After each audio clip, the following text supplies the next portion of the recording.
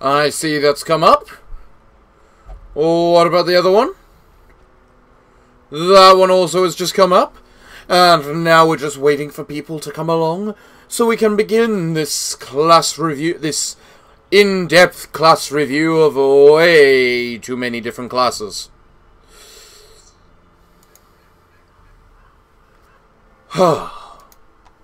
so, where the Christ is everyone?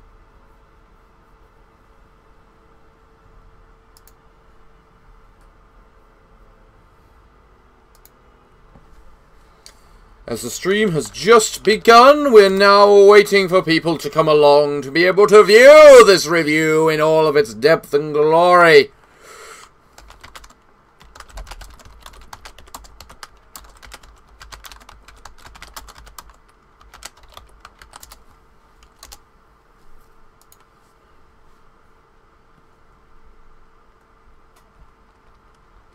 According to that, I've one person watching.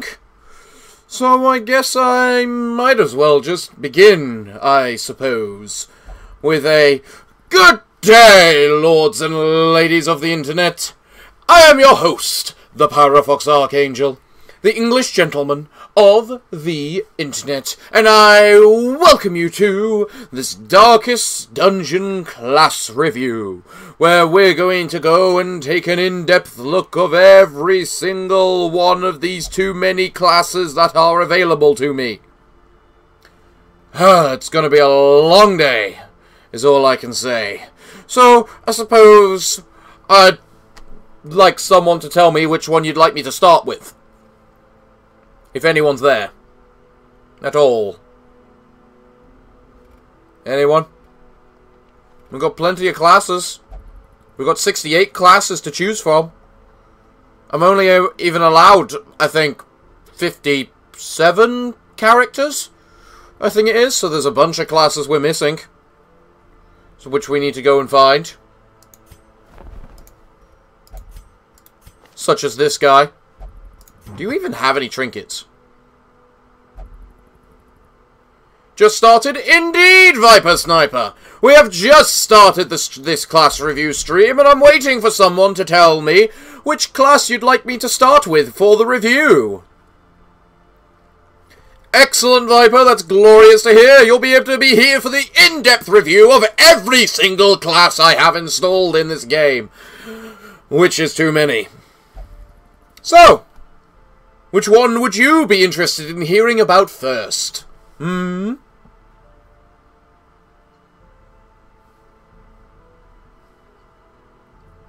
Maybe the Vestal? Maybe the Shield Breaker? Maybe the Fury? Does it matter? Not really. I just, I'd just like a starting point. You don't really care. Okay. Okay. Fair.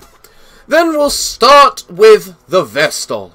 Ah, the Vestal of the base game, and it's being part of the ve the Vestal being part of the base game means she is just the primary healer within the base game, as can be seen from the fact she's one of the two healers available in the base game. Starting off with Divine Grace giving 8 to 9 healing and Divine Comfort being 4 to 5, making her the only healer in the base game with an AoE heal, which makes her a very valuable healer. But we uh, have to start this stream in order, meaning we have to start with the offense rating. The Vestal's offense capability is 7 is 7 to 11, which if I check within my records means she is below the average for damage, which is to be expected considering she's just the the healer to, to say the least. What do we have for her abilities then? Melee bat, mace bash, basic ability, basic attack, basic crit, and and the same hit chance as the Crusader, making it pretty standard. You then have Judgment, the attack that she does from the back. A much higher crit mod, but lower damage in exchange, meaning that instead of 14 to 7 to 14, I believe it would likely be 6 to 12, 12 which is a bit of a decrease, but it has the utility of a self-heal, She then has Dazzling Light, which is a negative 75% damage mod, but with a massive increase to the, the accuracy, meaning it's a lot more likely to hit. But this ability is more for utility than it is for damage. And then her final two abilities for damage is Illumination, providing us, again, more of a utility basis.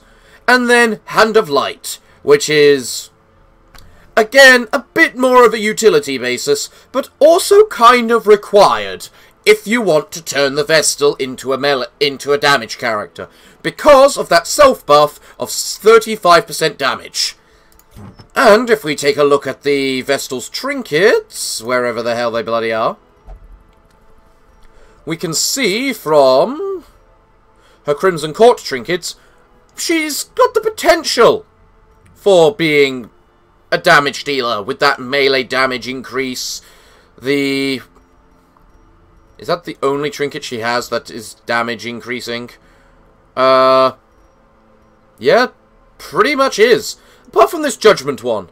But that actually nerfs the damage of Judgment. Which is that one, right? Yeah. So, overall, given the fact she starts with below average damage, her damage abilities are kind of not there, but she does have the ability to give herself a bit of extra damage, and her damage is 14, 7 to 14, which isn't low, that isn't low. That's about just below average. That's about the same... I believe that's the exact same number as the Arbalest. Yeah, it's the same number as the Arbalest. So, probably for her offense, I have to give it about a grade... C? It has the... She is a healer, not a fighter. Exactly. Exactly. She has the potential to do damage, but it's not her primary design. Next, we talk about tankiness, or defences. And for defences, we have to take a look at her statistics. She has bang average HP. But you can use her for that. Exactly. Bang average HP. 40. The average is 43. She has 44. Fair, fair. Dodge, 20. According to the, the original wiki of the original game, below average. According to my list of characters, average. So, again, average dodge. What else comes under its tank ability? Well, quite frankly, self-healing does. I consider self-healing more of a defensive capability than an actual healing capability. So, she has a little bit more extra for... because of the self-healing. What about her resistances? The average resistance for basically every resistance is 90. Which is what she is. 90 stun, 90 blight, 90 move, 100 bleed, putting it a little above average, and 90 debuff and 70 trap, which is also the average. If anything, oh, oh, 30 but disease as well. She is 100% average in everything defensive. So, again, for her defensive capability, we have to give her a simple, ordinary C. Now, the healing capability. The part where she shines, because it's her primary goal. First, she is a HP healer and not a stress healer. There is a key difference between the two. First, 4 to 5 party heal. If you compare that as the average, she is good. That's a good heal.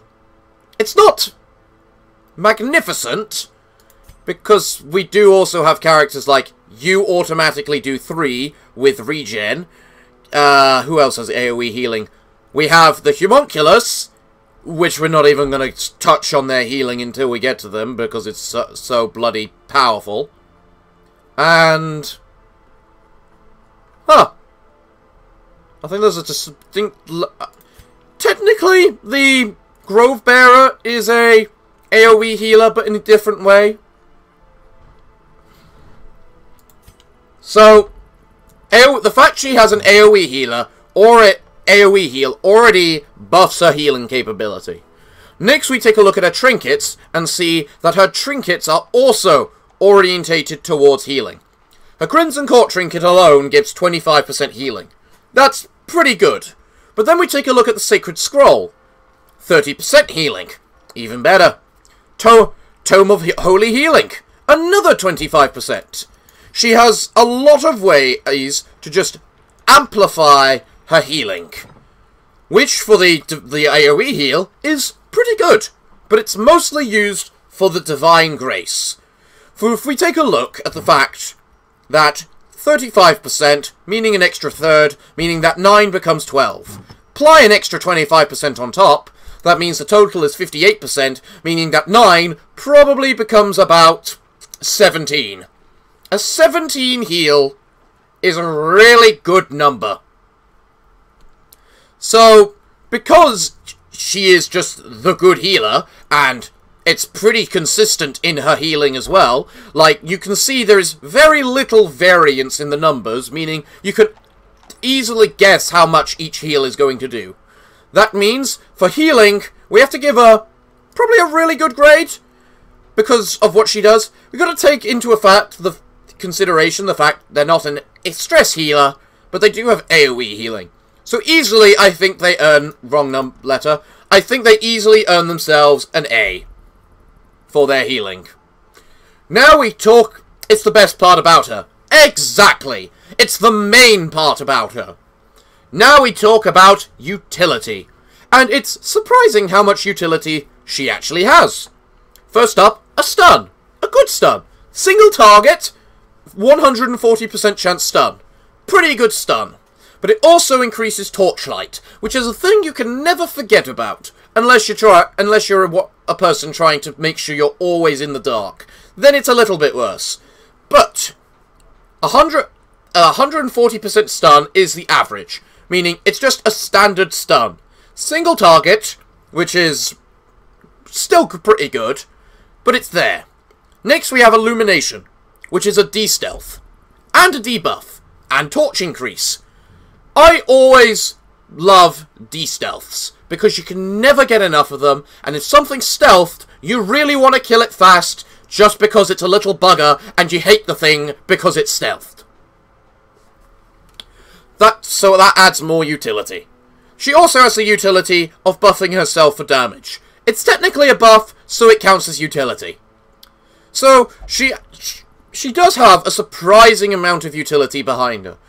If you want the utility, you easily have to sacrifice her DPS and damage capability, but you're probably going to be doing that anyway because of the fact she doesn't have the best. So for utility, probably have to give her about a B. Now then, flexibility. Flexibility determines how well they work in other positions. Dazzling Light works in position 2 to 4. Uh, Divine Grace, 3 and 4. AoE Heal, four, 2 to 4. Illumination, 1 to 3. Hand of Light, 1 and 2. Judgment, last 2. Bash, first 2. Her flexibility is a bit there, she doesn't have any capability to move herself, though, using her abilities, which is a key part of flexibility. The ability to move yourself without losing your turn via a movement, which she doesn't have. But it's also a capability of being able to still act if you are moved. And frankly, given the fact her AoE ability works in three positions, she does have a bit of that a, lot of her abilities work in three positions. Three of the abilities work in three positions, the other ones work in two positions. I'd say she's a B for that. Honestly, I'd say a C. As I don't think she has the most movement capability. I believe her mo- I'm not even going to look at try and take her somewhere right now. I believe her she can only move one space at a time. It might be two, I haven't used her in a while. But I believe it's on you can only move one one space forward or back with her, which reduces her mobility even more. So, For flexibility, I honestly give her, despite the fact she can use in about three different places, she's a C. Where's C? There we go. She's also religious, limiting your options. That is a very fair point. I do forget about that. Flexibility should also come into a consideration of team team composition.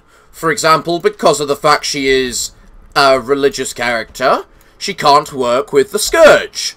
She can't work... Can she work with the Fury? Yes, she can work with the Fury. She can't work with... Um... Who else can't they work with? Can they work with the... Nope, can't work with the Revenant. Another problem with her is that when you do not need healing, she doesn't offer a lot. She does, though. If you don't need healing, she can stun. And if, a, if she stuns, that means you need healing even less. She can also de-stealth, which is a key thing. Basically, for her abilities, if I was using a standard setup, probably, it'd probably be about that. So, Illumination to de-stealth, Dazzling Light for a stun, and then the two heals. Because the other three abilities are what she uses for damage.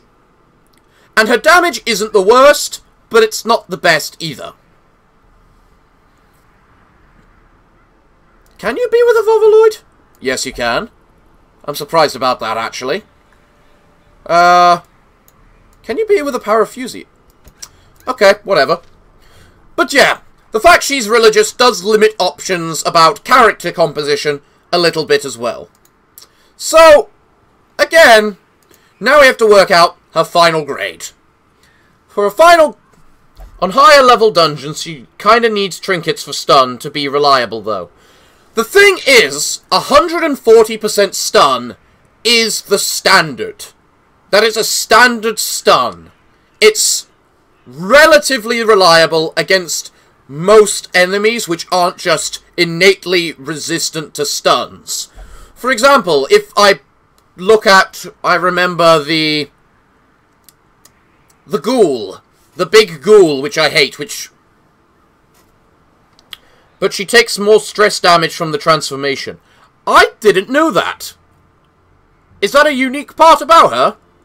I didn't know that, meaning she works even worse in transformation parties, which I suppose makes sense because she is a bloody cleric. And transformation is kind of one of those things.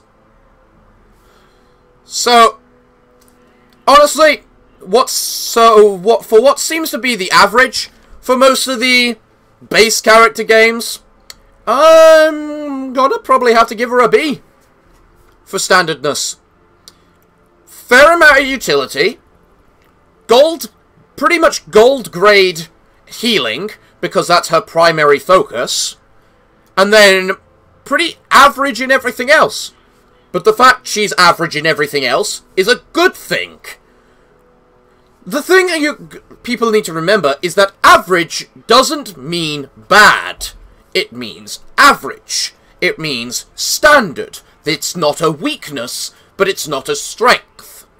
Me and if you look at those grades right there, it means she innately doesn't really have a, a weakness.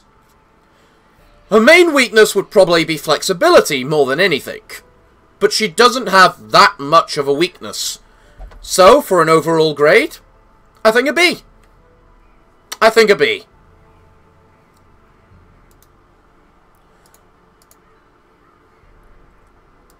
So, now to... Excuse you.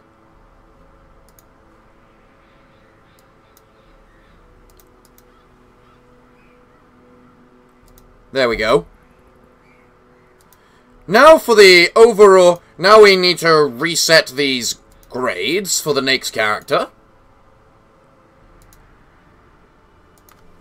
She takes more...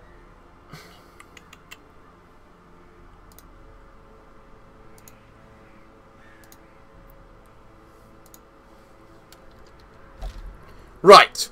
So if we're going to do this logically, next, let's move on to the person next in the list, the Red Mage. Ah, the Red Mage. You are an interesting character. To start with, I should mention the, the primary weakness of the Red Mage is a lack of support. Not in terms of, like, within the game, but a lack of support in their creation, because they're a mod character. The last time they were updated was 2017.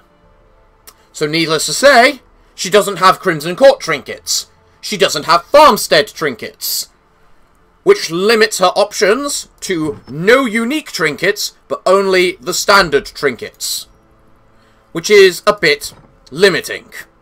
So, just saying that, let's start on with her offensive capability.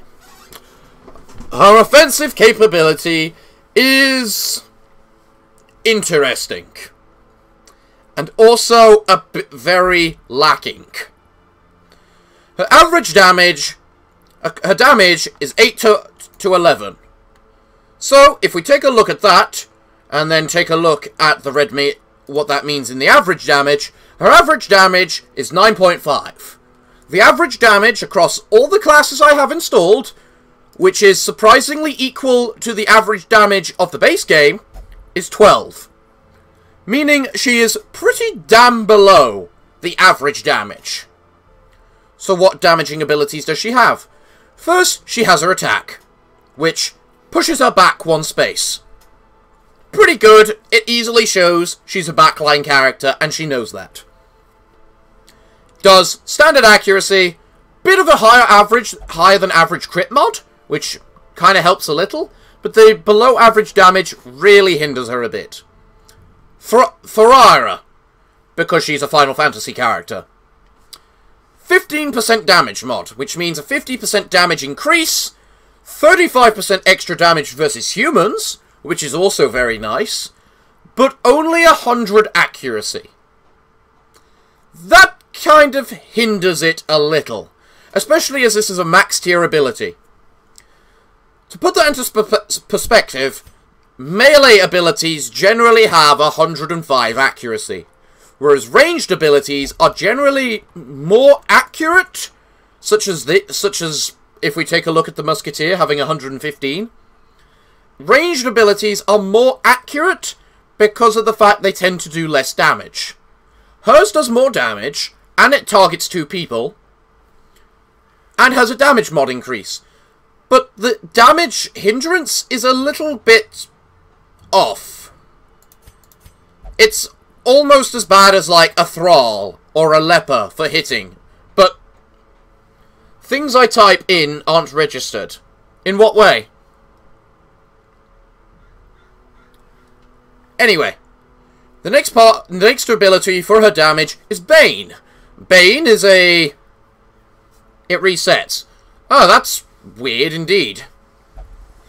Bane is a an ability she can use while in position 2 and 3 and can attack anyone. Single target. It is a Blight and Bleed together, which is pretty good until you see the percentages. At 120%. Now, it's understandable that it should be a lower percent, technically, because it does both. But when you think about the fact that the at the standard percentage for anything, debuffs, Dat, blights, bleeds, anything for a level 5 ability is 140, it kind of again hinders her quite badly. Especially as the ability itself has a negative 75 damage buff. And it favours Blight more than it does Bleed as well, for... I'm not sure why. If anything, you'd think it does 5 damage for 3 rounds with both, but instead it doesn't so it makes her a bit of a better Blight character than a Bleed character, for whatever reason. So, the fact it's only 120% really hinders her quite badly.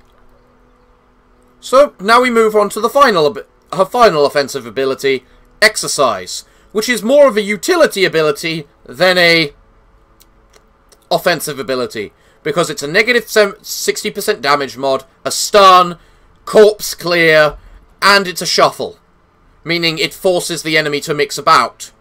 So I'm actually going to consider that a utility ability more.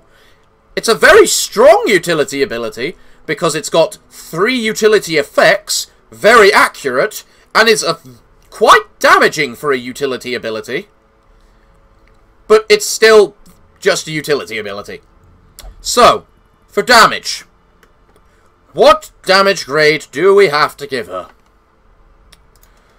She has below average damage, an ability that gives bonus damage, but is below average accuracy, and then an ability which has a lot of potential behind Bleed and Blight, but is again below average because of those percentage chances. And in fact, what was the hit chance? The standard for a melee attack. So, unfortunately, for her offensive capability, I think I have to give her an E. And that's me being more... And I wanted to give her a D, but... This just... I think I've given D for more... For... A D grade for more than that. So... She's not very good at offense, unfortunately. What about defense? Okay, well for defense, she has 35, 36 HP. That is technically within the region of average, but it more towards the below average. Because the average is 43, so she is 7 off the average, which is technically on the low side. In fact, what rank does she come in terms of highest HP? Uh, let's see, Red Mage. She is definitely on the lower end of, of the HP scale. But also has the same amount of HP as a Shield Breaker and a Grave Robber. But they're also considered below average. So, below average HP. What about Dodge? 32 Dodge. That is actually shockingly high. That puts her as having the fifth highest Dodge. So, Dodge, within terms of avoidability, she has a lot. In terms of actually being able to take a hit, not very much. Well, maybe she can make up for it with her resistances. 90% stun. That's standard. 110 blight. That's above. That's pretty above average. That's 20% above average. A lot of debuff resistance, which is quite nice. Below average move.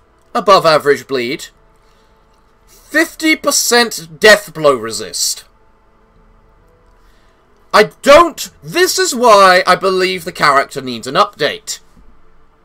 Because of 50% death blow resist. Nothing should have... Nothing, unless it is a very particular special character, should have below the standard 67. So, the fact that she only has 57% death blow resist, and is below average health in the first place, I think I have to find my... There we go. Let's just move all my things that I need to click on in the right positions. I have to give her defensive capability a D. I was leaning towards an E, but the dodge does make a bit of difference. She doesn't have any defensive ability. She does have a defensive ability, which is haste, which is plus 10 dodge. So that can aid with that. Okay, what about healing? Her healing is a 7 to 10 single target heal. That's her only healing ability, and it's technically got a higher higher max than the Vestal, but a lower minimum than the Vestal. Which, and also she doesn't have really the same options as the, the Vestal in terms of trinkets. Which it kind of hinders her a little as well. So, for healing, I think I'm going to give it a C. It's a good heal, it's kind of... It's got a little bit of variance to it. She is an old character. She is a very old character. She is. But that does kind of have its advantages. And here is how. As we move on to her core factor, utility. She has haste, plus 10 dodge. That ability affects the entire party, and it can be spammed. In other words, each turn plus another 10 dodge. Each and every turn. That alone is a very strong ability. What's the... Let's compare it to the ability like it from the Antiquarian. What? Where's the Antiquarians? It's exactly like the Antiquarians dodge. How long has this been on? We're on the second character. We're on the second character. And we're and we're reviewing the Red Mage. So, the next part of her utility. Null Blight. Who's who's the first? The Vestal. The Vestal was given C C offense, C defense, A A healing, B utility, C C flexibility, and B overall. So now we get to the Red Mage, which has potentially the most broken ability of all which is Null Blight, which is a plus 25% damage mod with plus 5, 5 speed. It affects a single target, and it lasts the entire battle. And it doesn't have a uses per battle. uh, sorry about that. Meaning you can apply it multi on everybody or multiple times on the same person, scaling their damage to all hell and back. That is... That, frankly, is overpowered. That ability is just bonkers. Exactly. Exactly. There's a reason why when we finally go to the end of the Darkest Dungeon, to the very last mission, the Red Mage is coming with me. Now, her next utility ability. Exercise. It's a stun, 140%, so standard. A shuffle, which is pretty good for just moving your enemy about the place.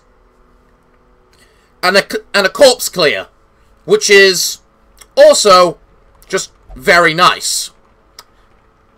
That is a good, a very strong ability because it does more average, more damage than the average ability of that sort of type.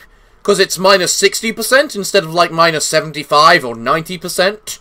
It's a stun, a shuffle, corpse clear. It's got three different utility effects in one ability. And it's 115 accuracy, meaning it's pretty accurate, meaning it's pretty likely to hit. It's not a strong stun, because it's not 150, but it's still a good stun. So, for, frankly, utility, an A, an A Definitely. I lean a little towards, honestly, an S for utility. The character is seems to be designed around utility. The, the dodge, the, the damage buff, the corpse clear, stun, all that.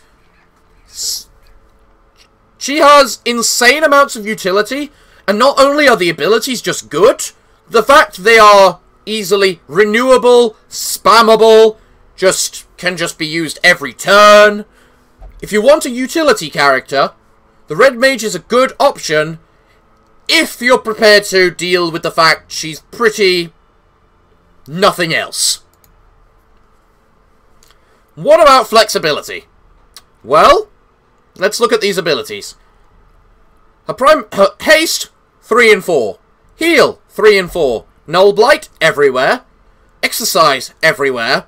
Bane, 2 and 4, 2 and 3. Firaga, 2 and 3.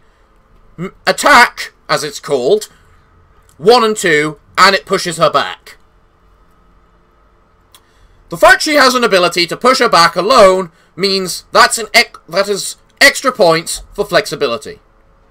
The fact a lot of, but she doesn't and the fact that a lot she's got two of her primarily best abilities that can be used in every position also helps buff that effect. So, flexibility, frankly, I'm leaning towards a B. Any objections about that?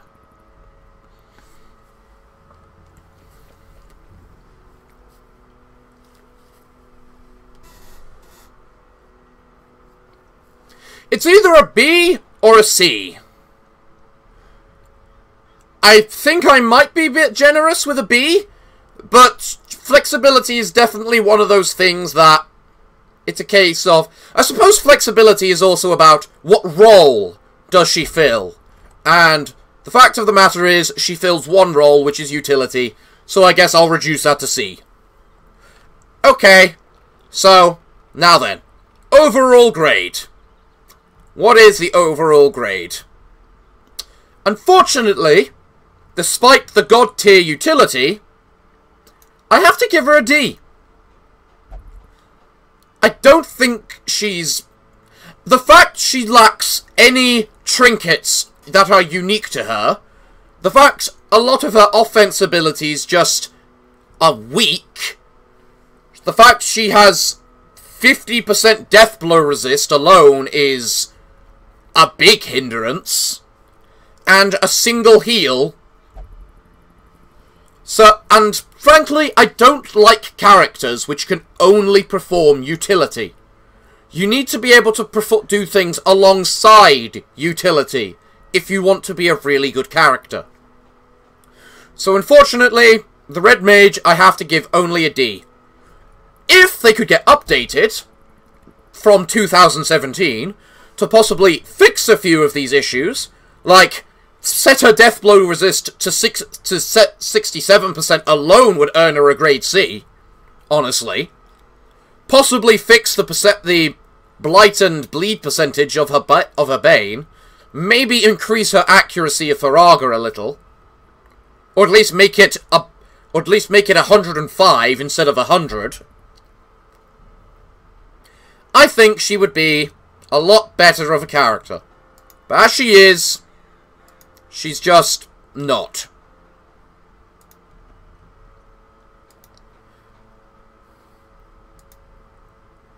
So now to reset all of the grades. Do -do -do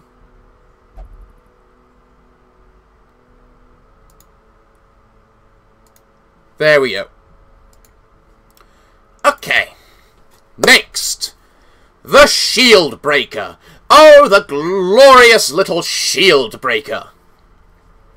Shield Breaker's the first DLC character that came to Darkest Dungeon, and is one of the base characters, meaning there's a lot of things to hold it against. So, first up, offense. She has basically, was it, six out of... Yeah, Basically, six out of seven of her abilities are offense. So, what are those abilities? First, we have Pierce, her standard ability. 110 accuracy. That puts it above average accuracy for the standard melee character alone by five by five. Which, when you got to think about all these numbers, five makes a big difference. Minus 10% damage mod. That's a bit of a hindrance. But armor piercing. Armor piercing is an extremely valuable offensive capability. Because when you think about the fact she has 9 to 8 base damage, which I believe puts her at... What was her average damage? She is 16th eh, out of all the characters including all the mod characters, 16th for average damage. And if we take her crit into effect for that, she goes up to 15th for average damage. Because she's got an awful lot of crit. And that's talking about the base crit, and not the crit that's included with the ability. So, when you think about the fact, 9 to 18 damage, minus 10% mod. That would take it down to about 8 to 17. No, 8 to 16, sorry. Because Darkest Dungeon always rounds up. So it take it down to 8 to 16. Which means that's the same damage as the base the same base damage as where are you, where are you, where are you? You're way further up. Same base damage as the Bounty Hunter.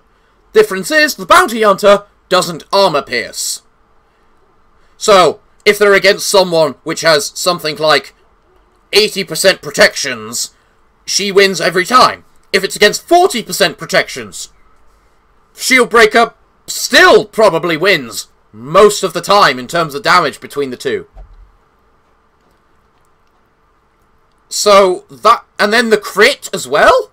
Just amazing. Next ability, Puncture. That is a minus 50% damage mod. It's more of a utility ability than offensive ability. So, we'll get to that to for utility. Adder's Kiss. Only works in the first position, 110 accuracy, same crit mod, no damage negative, and it applies a blight. A, a pretty strong blight with five with five points of damage instead of four, which I'm at this point I consider to be the average for both blight and uh, and bleed. So, again, an ability with an awful lot of damage. Impale. AoE attacks everyone. Deals has a negative 60% damage mod, which is a bit fair because it attacks everyone. Minus 2% crit, which is, again, it attacks everyone. Blight, it, bl it can blight everyone, which alone is uh, the ability to blight everyone at all, which is a very good ability. But the thing you gotta remember, most abilities which attack the first two characters in the front line have a negative 50% damage mod. When she can attack everyone and gets a negative 60%, that easily sees as a major increase. So next ability, utility. Next ability, captivate. The only ability that doesn't move her.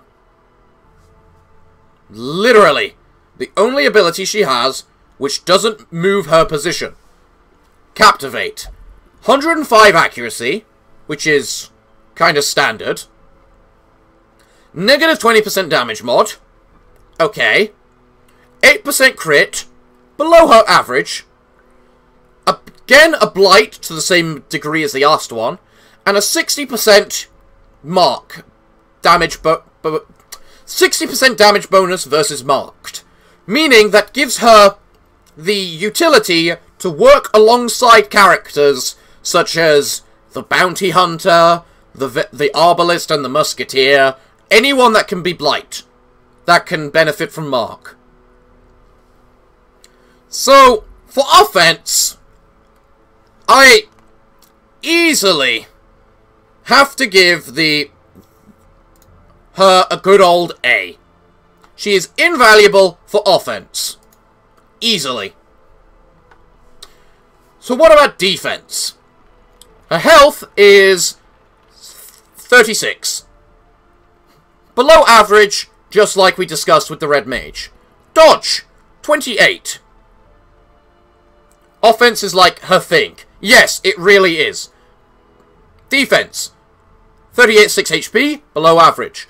28 dodge, that is above average. That is above average. Because the average is about 20, because I believe 11 out of the odd characters I have have 20 dodge, with another 10 having 25. So, she is above average for dodge.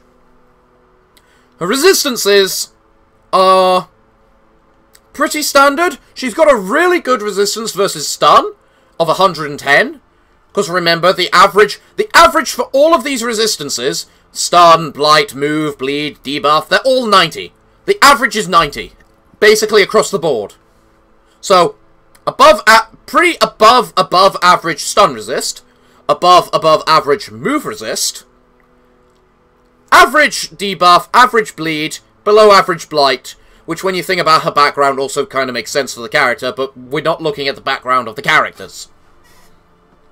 Disease resist is 30, which is again standard. What other defensive abilities does she have? That's not a defensive ability. Uh, you're not a defensive ability, but this one is. It moves her forward and gives her two stacks of block. Now, what is better? Have taking less damage it, with via protection, avoiding damage more, having the chance to avoid damage via dodge, or just completely negating damage versus using block. It is a very good ability because it's two levels of block. That uh, means she, the big bad enemy can just punch her in the face twice and she just ignores it both times. It does have limits per battle with two, so she can get a total of four levels of block, which has its ups and downs, but it's still a really good defensive ability, which she frankly kind of needs because of her HP, because of her HP. So, for defense, I'm just gonna give her the standard C. The dodge being mildly above average, it helps. The HP kind of hinders her, so you probably want to get her and her... You probably want to get her her building quite quickly to give her the extra 10% HP, like I've done here. And the Serpent Sway Forward, it's a good ability, and it's a nice buff as well, but... Yeah. Okay. Next grade. Healing. Where is it? There it is. Doesn't have any. Moving on. Utility. She has... Oh, so much utility to go with her as well. She has two abilities for utility.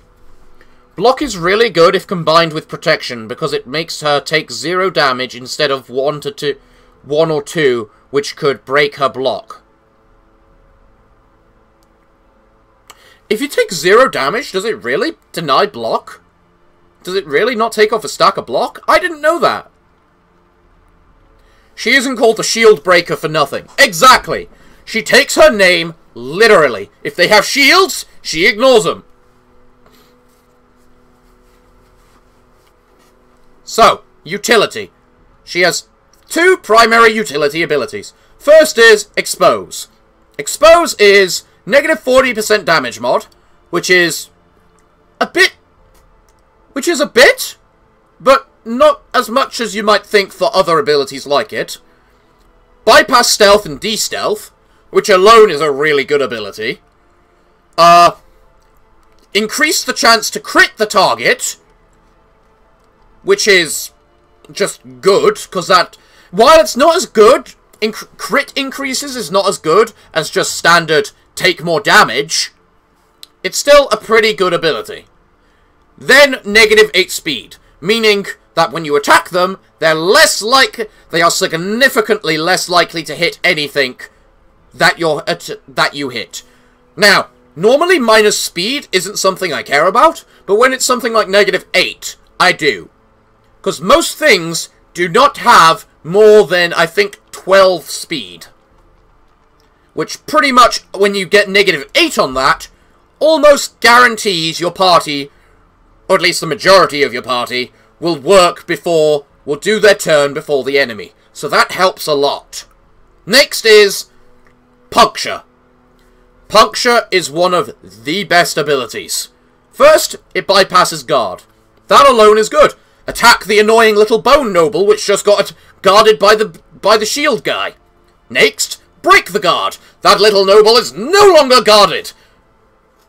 And then apply can't be guarded, meaning you're gonna die, little bone noble, you annoying little bastard.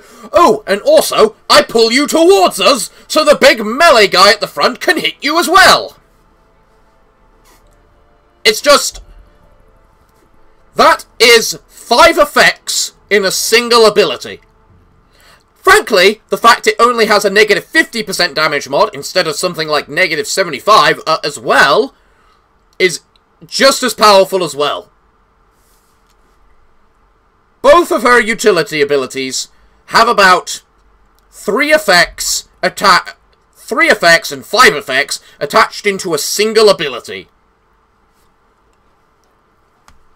Now, no, and both of those abilities are just really good abilities. You might want only one or one of them equipped instead of both, like I do, but you should probably have at least one of them equipped, depending on where you're going. If you're going to the Weald, probably Expose. If you're going to the Ruins, probably Puncture. And if you're going to the Warrens, I don't think you need it. I don't think you really need either. So, what do we give her for utility? Frankly, the fact that both of her abil utility abilities are really good abilities in both of damage and effects, I have to give her an A. I just have to give her an A. Now, what about flexibility? I'd say a solid A bordering on S. It's a solid A. It's definitely a solid A. I don't think it's anywhere close to an S rating though, because it's not like give your give the give the the Black Swordsman an extra 200% damage kind of bullcrap. Flexibility. Oh, she is flexibility is her thing. You said damage is her thing? No. The fact she can do anything from anywhere is her thing. Pierce moves her forward and can work in the first three positions. Puncture moves her forward and works in every position. What else we got? Expose works in the first three positions and moves her back. Captivate works in position 2 and 3, doesn't do anything. The defensive ability works in the first three, moves her forward. Flexibility is an S, not even gonna question.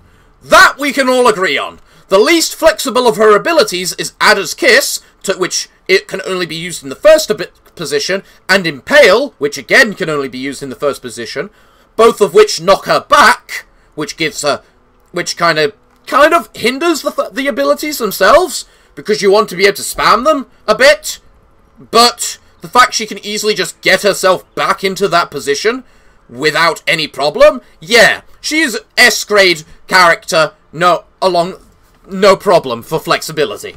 Flexibility... Frankly, if I question flexibility of a character, I would compare it to the Shield Breaker. The Shield Breaker is the S-rank flexibility, undisputed. So, her overall grade. Extremely powerful offense, a lot of utility behind her. She work... She works with every position but the problem is, with her flexibility, you also need to make sure the party she's with is also a bit flexible. Because she shifts the party around a lot. Which, if anything, could hinder her flexibility to a grade A, but I'm not even going to touch that. So, I'm going to give her a grade A as a character. Tons of offense, lots of utility, Flexibility off the charts.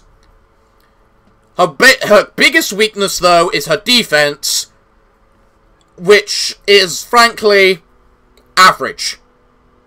Kind, It's, like, mildly more below average, but it's still kind of average. You need to defend her a little. The fact that vanilla units are as powerful as modded units is something I find surprising about a game published by Kel. It's not it's made by Red Hook. It, it's not... Whatever. I'm pretty sure Kel don't have anything to do with the balance of this game. I believe it's all done by Red Hook. So, yeah. A grade. Because compared to the character mods in Don't Starve Together, which are either OP as hell or way underpowered, Oh, we haven't even got to modded characters yet. We've got one modded character, and frankly, the modded character had the worst grade. So, let us put that into perspective, everyone. Da -da -da there it is, and finally, there it is. Okay, next up, The Fury! God damn, I love the Fury! The Fury is one of my favourite characters in this game. And let us get into the explanation as to why. First up, the Fury is a transform character. Technically. They do they have two different modes, and basically they have tank mode and offense mode. So, let us start with their offense. 5% crit. What's the average? What was the average crit everything had? The average crit was 7.5. So, below average crit. Well, there is one modded hero that shines among the rest. Cough. Don't even start. We're gonna get to him. We're gonna get to him. So, Fury. Where's the Fury? The Fury is 12th for average damage. Now, let us work out what how that works because that is from these stats alone and doesn't come even close to what the Fury actually is. Fury has 14 to 16 damage. Also, by the way, I never even talked about the Shield Breaker's trinkets, which have which kind of just amplify what she is already. Increased Blight skill chance, bit of protections. A lot of her trinkets involve the Shield Breaker's trinkets involve a bit of defensiveness. Or in this case, extra damage versus marks. Okay, anyway. Fury! God damn the Fury. God bless the Fury, even. So, first we have offense, uh, defense abilities. So, poise, all of her his abilities have stupidly high accuracy. Okay? His standard attack, composed slash, which at this point is what I consider to be his standard attack, has 115 accuracy. That is the accuracy of a ranged character. His next ability, Discipline Thrust, has 120 accuracy. That is more accurate than a ranged character. Then, it's Poise Cleave, which is an AoE ability, which is 110 accuracy. Which is just technically above the average melee accuracy. So, what else do we need to work with? We'll get on to his Fury side in a, in a bit. Now, both of his... All three of his defensive... Uh, his defense mode abilities have a damage negative, which is kind of to be expected. It is his it is his tank form. What are they? The lowest is 30... The highest... The lowest... Highest... The one which does the most damage has a negative 30% damage mod. That is about... What would that be? Negative 5 damage? So it'd be about... It would be about an 8 to 10 damage instead of 14 to 16. Poise com Composed Slash is again probably 8 to 9. Poise Cleave, probably about 6 to 7. Obviously not including protections. Now those damages obviously reduce his damage capability quite a bit. But the fact is that damage is consistent. There's no, like, I'm gonna do, I'm gonna do 7 damage. Then I'm gonna do 18 damage. Then I'm gonna do 7 damage again. And 9. And 16. And 2. You get it? With the Fury, you can tell, you know how much damage the Fury is going to deal.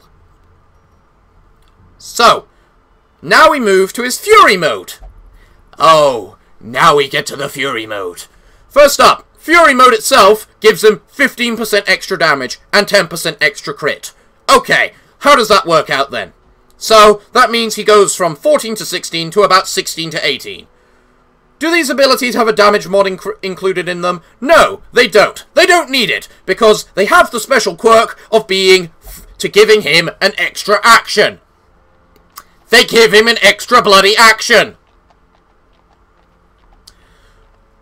The he's a Darkest Dungeon veteran for a reason. Because when he went to the Darkest Dungeon, he just went Fury mode and went, Slice! I hit the boss.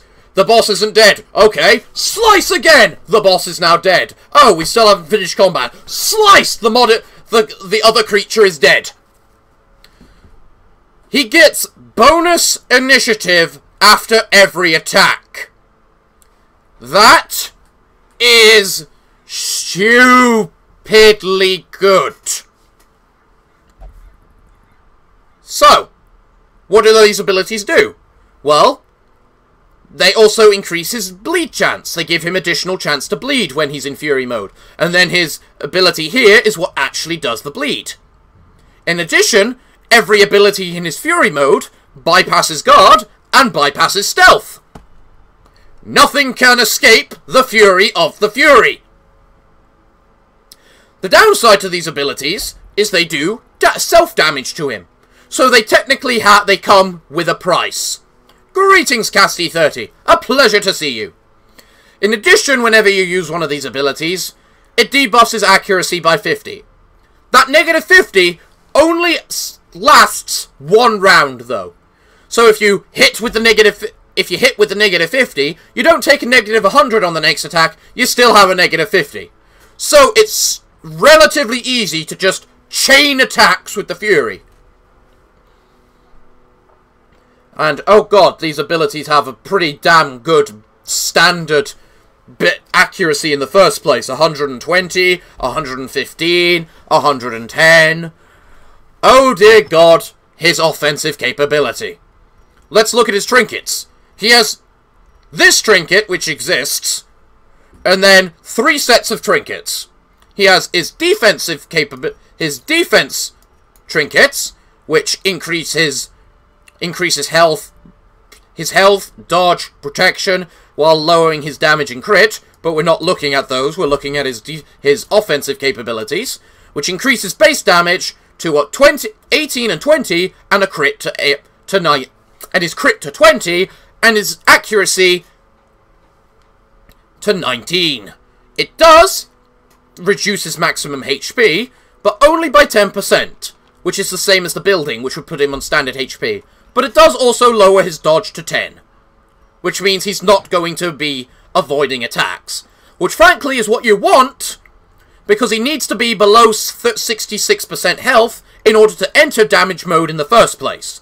Which in this case, 66% would be 30. He needs to be, if, if, you, if, if you take out the tough mod, that tough trinket, he needs to be below 30 HP to enter his damage mode. What about his Crimson Court set? Well, his Crimson Court set, again, increases his, his damage. His, his damage increases his crit, increases his protection, increases his dodge, increases his health. The Crimson Court set is the average, is basically... It up, it increases everything. So if you want, so basically it's a case of, I want defense. No, I want offense. No, I want a balanced mix between the two. That's what his trinket sets come down to. So, offense. What is the offense of the Fury? The offense of the Fury, simply because of the fact he gains bonus turns, has to be an S. Any objections? He does have the limitation that he needs to be in his damage form to earn that S, but it is an S. Okay. What about defense? So, okay.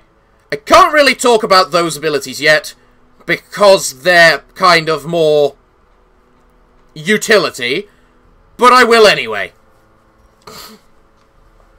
The, the Fury has 45 HP. That's standard HP. That's standard HP. Bonus turns are broken on your team. Exactly. Dodge. 20. Again, standard dodge. Standard dodge.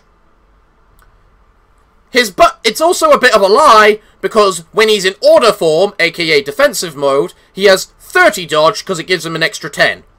And 15 protection, 15 points of protection.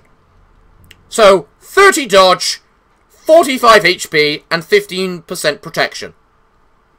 Okay. Now we move on to his abilities. His offensive ability is also a defensive ability, because when he uses Composed Slash, he gains a buff for 25% protection, which lasts which lasts long enough that he can stack it twice. So in theory, instead of 15% protection, he goes up to 40% protection, and then 65% protections. Yes, it is huge. He also has the ability to mark himself, so that he can say, Attack me, I'm the tank, you attacked me, okay, I'm mad, whoosh, I'm gonna kill you now! Slice! And seeing as bonus turns are something only exclusive to bosses, which are usually alone, which helps them fight against four heroes. Yeah. Yeah. So, let's take a look at what his defensive trinket set does. It gives him an extra, what is that, 25% HP. Damn decent. An extra 10 dodge, which would then take it up to 40. Another 20% protections, which means he would cap out his protections. Because protection maxes out at 40, at 80%. So, yeah. Yeah. Can reach 80% protections very easily. Has something about like 60 HP when he's tank form. And up and 40% and 40 dodge, which is higher than the Jester, which is 35. This might just be my own biasness talking at this point, but... Oh, and also, his his transform ability. I can't forget his transform ability. When he transforms from his damage mode into his tank form, he heals himself. So, there's even less worry about the damage form because he's just healed himself a bit. So, yeah, for that, for, frankly, and resistances. Right, that's a good point, Viper. We must talk about resistances. What are his resistances? Let us look at them. A hundred, a hundred, a hundred, a hundred, a hundred. And forty. His resistances all of them are 10% higher than the standard, or the average. 90% stun, that's the average. 90% blight, that's the average. 90% move, that's the average. He is 100% in everything. He doesn't excel at any resistance, but he's above average in everything, including disease. So, yes, for defenses, I think S is a very capable grade. Let us also note, this is the Fury after his nerf. This is after nerf Fury. Because they nerfed the Fury a while ago. Because he used to be better.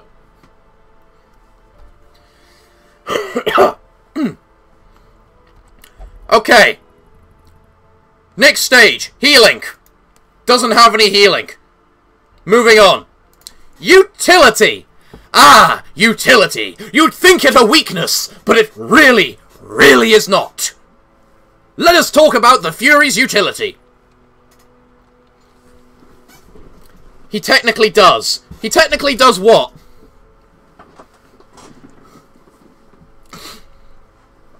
So, utility for the Fury. Well, he technically... No. I... He technically does have some heal, but I don't class the healing grade as self-healing. Self-healing comes under defenses. Self-healing comes under defenses. Healing other people comes under healing. And as his heal is a self-heal, it counts towards defenses, not actually healing. If that makes sense to people. So, utility. Okay. First up, should be noted, he doesn't have any buffs. He doesn't have any way to buff his allies. He doesn't need it. He would be too powerful. That's a good way to do it because self-heal doesn't help party members. Exactly. That's why I say that. So, first up, technically his transform mode is a buff to himself. So, not really a utility, because we've already covered it in the other two. So, utility. His Composed Slash, the ability that gives him that gives him his protections, also reduces the protections of the enemy by the same percentage. The idea behind it is you steal percent you steal the protections. So I hit you, I take 25% prote protections off you, and I gain them. It doesn't work like that because you still gain the protections even if they don't lose them, but it's still they lose protections. Discipline discipline thrust reduce enemy damage by 20% and also reduce their stun resist. Also nice. And also have the chance to knock them back. Three effects in one. Now, I haven't come note. I haven't mentioned the things that increases st stun skill chance because they work towards poised cleave. Poised cleave, a knockback, which is 120%, which is below average. It is below average. He mocks himself, which is technically utility, and a stun, I don't know if the the buff, uh, if the plus 75% stun skill chance applies before the stun or after the stun. That's the, I still haven't worked that out. Because it's because if, if it's before the stun, it means he can get up to a 210% stun. But if it doesn't, it's a standard 140%. But it still affects the first two rows so it's an AoE stun for the first two members. Stuns are just good utility, especially if they do decent damage alongside it. What about his Fury mode? He surely can't have any form of utility in his Fury mode, right? Well, this ability causes the enemy to take more damage. It's funny. This ability causes the enemy to take more damage because it's negating it's taking away their protections. This ability just makes it so that they take more damage by 25%. This ability does additional damage versus bleeding, giving him a bit of that's just damage, and then this ability is just a bleed, which is again damage. So he's got four abilities which have utility effects built into them alongside what they already do. In addition, his camping abilities, which I haven't covered with anyone else, because I'm an idiot, but we'll cover them for the Fury, because he's got some really good ones. Such as, all companions that aren't religious gain 10% extra crit and 10 accuracy. In addition, he can give negative 20% stress to the entire party, in addition to taking negative stress off them. That is an expensive ability, it's an expensive ability, so he doesn't get any bonus points for it, but he doesn't lose points for it either. I can see why you like this guy. Yeah, I bet you can. So, for utility. Increase, increase the damage an enemy takes. Increase the damage an enemy takes. Decrease the, da the damage an enemy deals. And stun. AoE stun. Its utility is easily a grade A. Again, it's probably leaning towards S, but it's not. Actually, because his utility is built into his offensive abilities, and he doesn't lose anything, he basically doesn't lose a turn for just do... Yeah, you know what? I think he deserves an S for utility. I think he deserves an S for utility. Okay. So. Now we talk about flexibility. It's not a weakness. It's not a weakness. It's, okay, compared to everything else, it's a weakness. But it's not a weakness. So let's look at his utility. His first ability can be used in position 1 to 3 pretty good. Then his next two abilities can only be used in position 1 and 2. Fair, he's a frontline character. His Fury mode, his first ability, can be used in position 1 and 3. Again, it's a bit of flex. It's a bit of flexibility. His next ability, one and two. His final ability can be used in every position and pushes him forward two spaces. I can't really classify that as a good as a good upgrade for his flexibility because he does need to be damaged to enter into to be able to get into Fury mode to be able to use that ability. But the fact he can still attack from position 3, which most frontliners can't, does make him above average flexibility compared to most people. So, his flexibility, probably a B. He's not... He's a frontline character, so position 1 and 2, but he's not stopped. He's hindered, but he's not stopped if he's pushed back. And I think he can move two, two spaces. I can't remember if he can move two or one. I think it's two. So, overall grade for this for the Fury. I think, without a doubt, the Fury is a grade S character. He's a character you should always try and have. He's not He's not completely ridiculous. He can't... Because negative 50 does have its effects. And he can't just spam his his Fury abilities permanently, because he does damage himself with each time he does. He's not invulnerable with his defensive abilities, but they do help. His damage is high, but it's not stupid high. It's just consistent. His crit is pretty low, actually. Oh. So, Fury, quite easily, S rank character. One of the best characters I ever have, and I love the Fury too much. Although, although, the thing that makes the Fury overpowered, you can get the, the Fury to rank overpowered by using this trinket. If you attach him with the Eye of Immortality, he can't die from Death Blow. Meaning, his self-damage is negated, meaning you can just keep him on zero health, and he's in Fury mode permanently, and can't die. Yeah. But that's kind of one of those out there trinkets. So,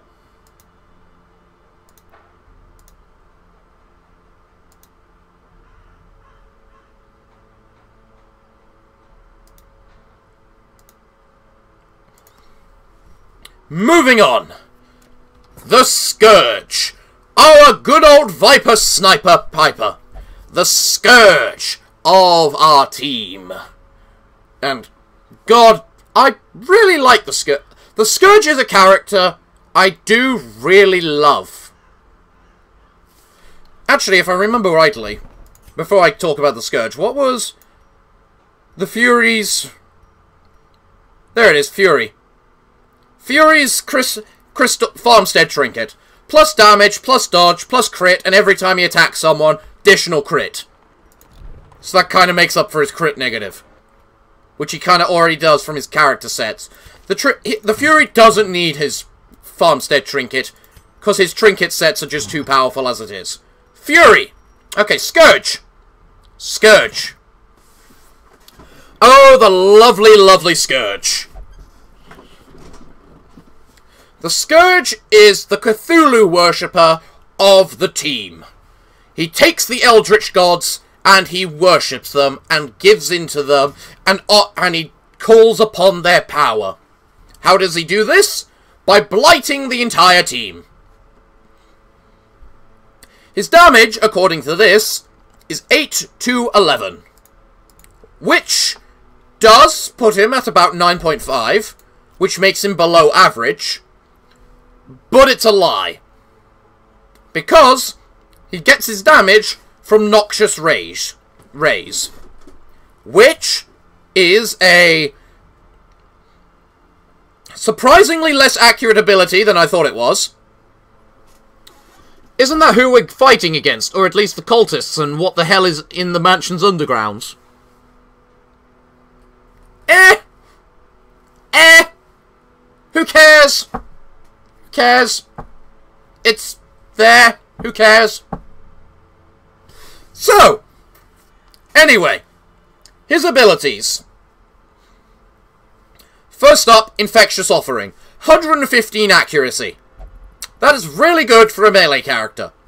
Minus 15% damage mod. Bit worse. A bit worse. Then again, our own our own cultists are worshipping the same thing. Yeah, the occultist. Exactly. So, 5% crit mod. He doesn't crit. He he doesn't do damage via the via hitting things with these abilities. Transfer bl blight to enemy. That means if he's blighted, he puts that the blight that's affecting him on his enemy. That is a good defensive ability, but also a good offensive ability too. Next, Noxious Rays. 95 accuracy, meaning it's a below, pretty below average accuracy ability. But it attacks the first two me members of the party, of the enemy line. It has a good chance to blight them for 4 points of damage for 6 rounds. He may not do above dam average for the blight damage, but he is certainly above average for the blight duration.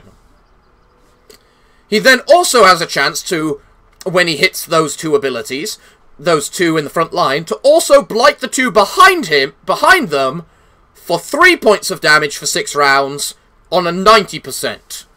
Now, if we take the the the Fury, or the Scourge, and give him just this trinket for a start, that increases the blight, his blight chance significantly, it takes that 100 and that 95 accuracy and makes it 105, making it a standard attack. And just it's he can blight the entire enemy team with one ability. With the downside that he blights himself. Guaranteed. Because it's 200% chance. But that doesn't matter either, because then he just pushes the his the blight that's affecting him onto his enemies. Then we have Excoriv Excoriate. I can't say that word properly. Which affects the first two members of the first the first three members, all of them. It He's a blight transfer. He is. He is. It causes well, the his let me get into it. It's 100 accuracy, which is below average, but not too bad. Negative 75% damage mod. Bit of a hindrance. Plus 400% damage if blighted. Which I'm pretty sure means that instead of it... That just means he'll do standard damage instead of or possibly a little above standard damage rather than the negative 75%. He transfers Blight from the... he transfers Blight from the target, which I think I mean think it means he puts it all on himself. He debuffs all the enemy for negative 5 speed. Eh. And then he buffs himself for negative 40% damage. Now, that's not a protection. That's that's negative 40% damage received. That's a thing that can stack with protections. Okay? Next. Abyssal Havoc. 140% accuracy. That's gonna hit. It's basically saying, I'm gonna hit you. mm.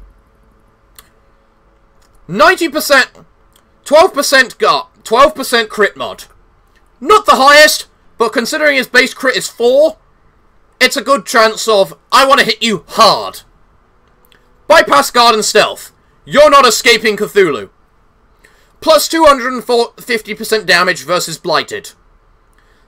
You gotta remember, That is without him having a damage negative. So that 8 to 11 becomes something like... What would it be? Uh, 30 to 40-ish damage. That's a I want you dead ability. Next we... And then it also blights himself. But it also stresses the entire team. Your team. So it's one of those abilities which...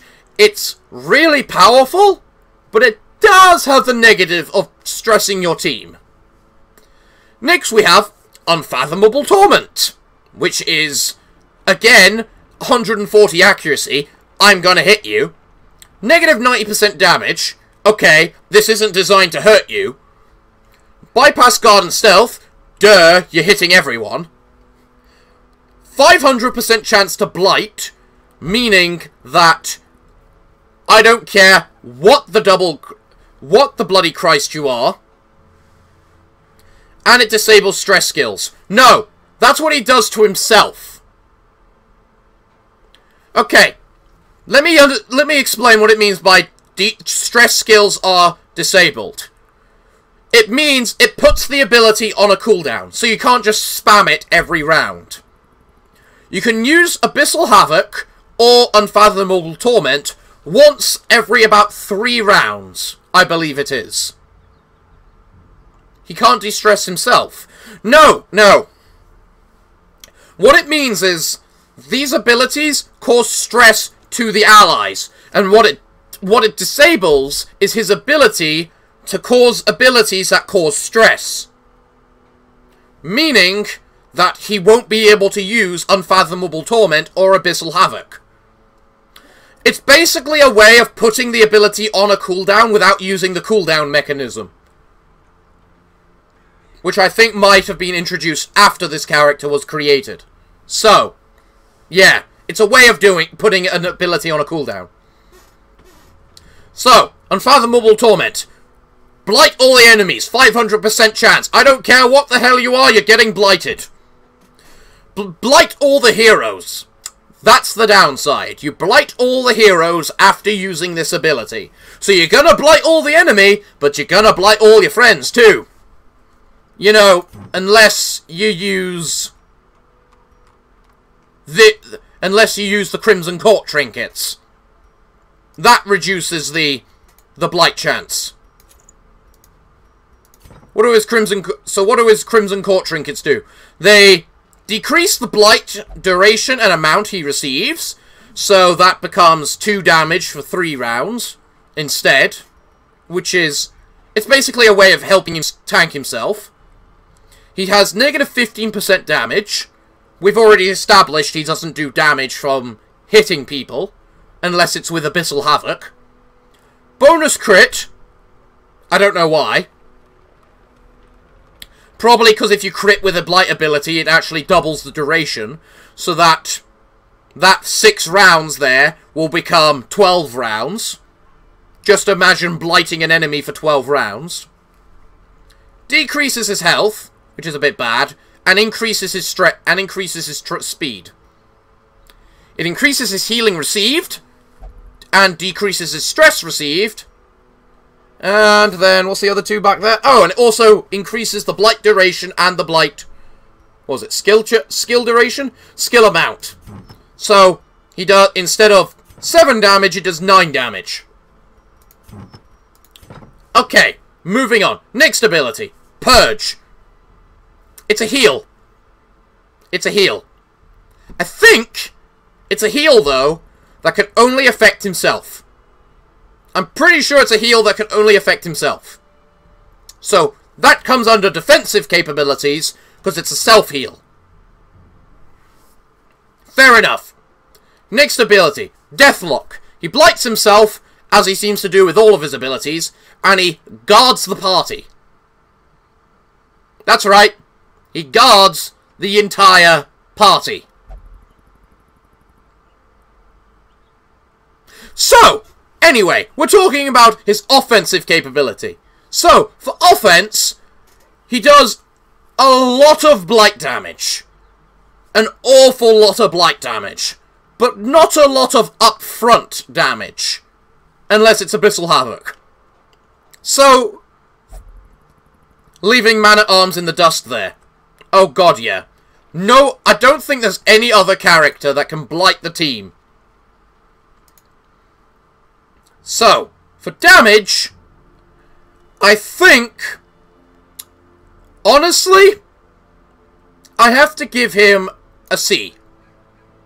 You'd think it would be a higher, like an A or something, but no. The thing you gotta remember is that over time damage generally does more damage, but it's a matter of making the enemy last that long for the damage to take effect.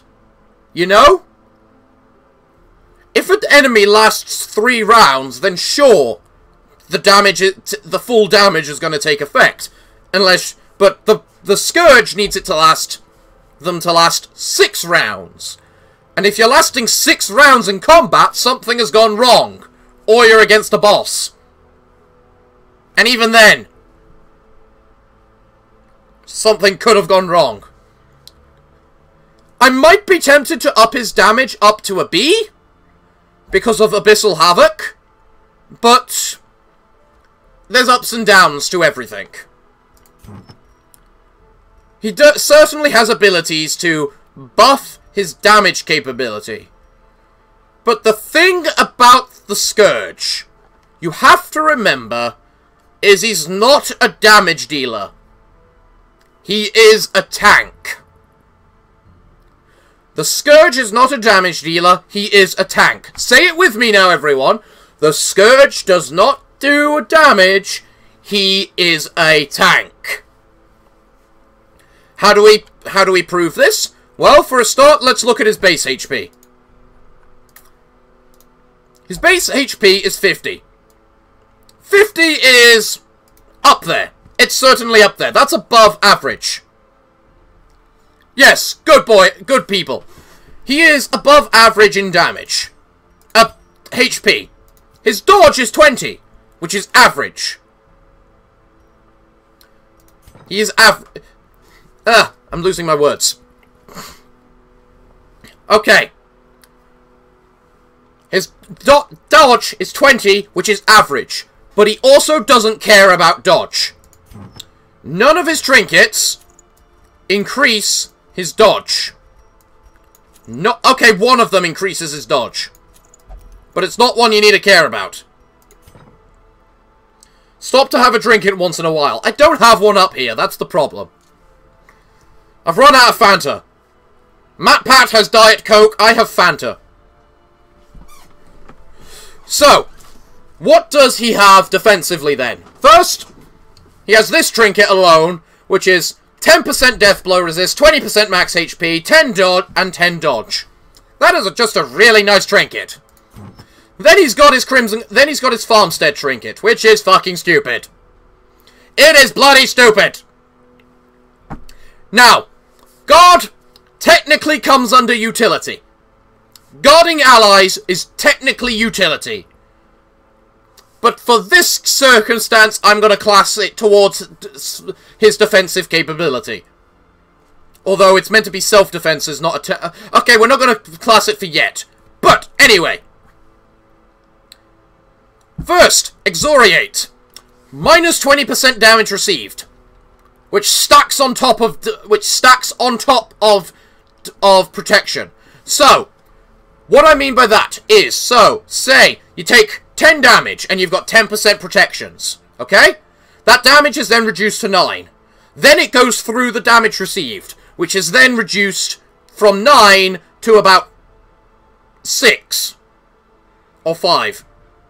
Whichever way Darkest Dungeon wants to do it. So if you have 80% damage minus damage received and 80% protections, that means that 10 damage turns into 1 or the 100 damage turns into 2 or 4. Something really, something like that.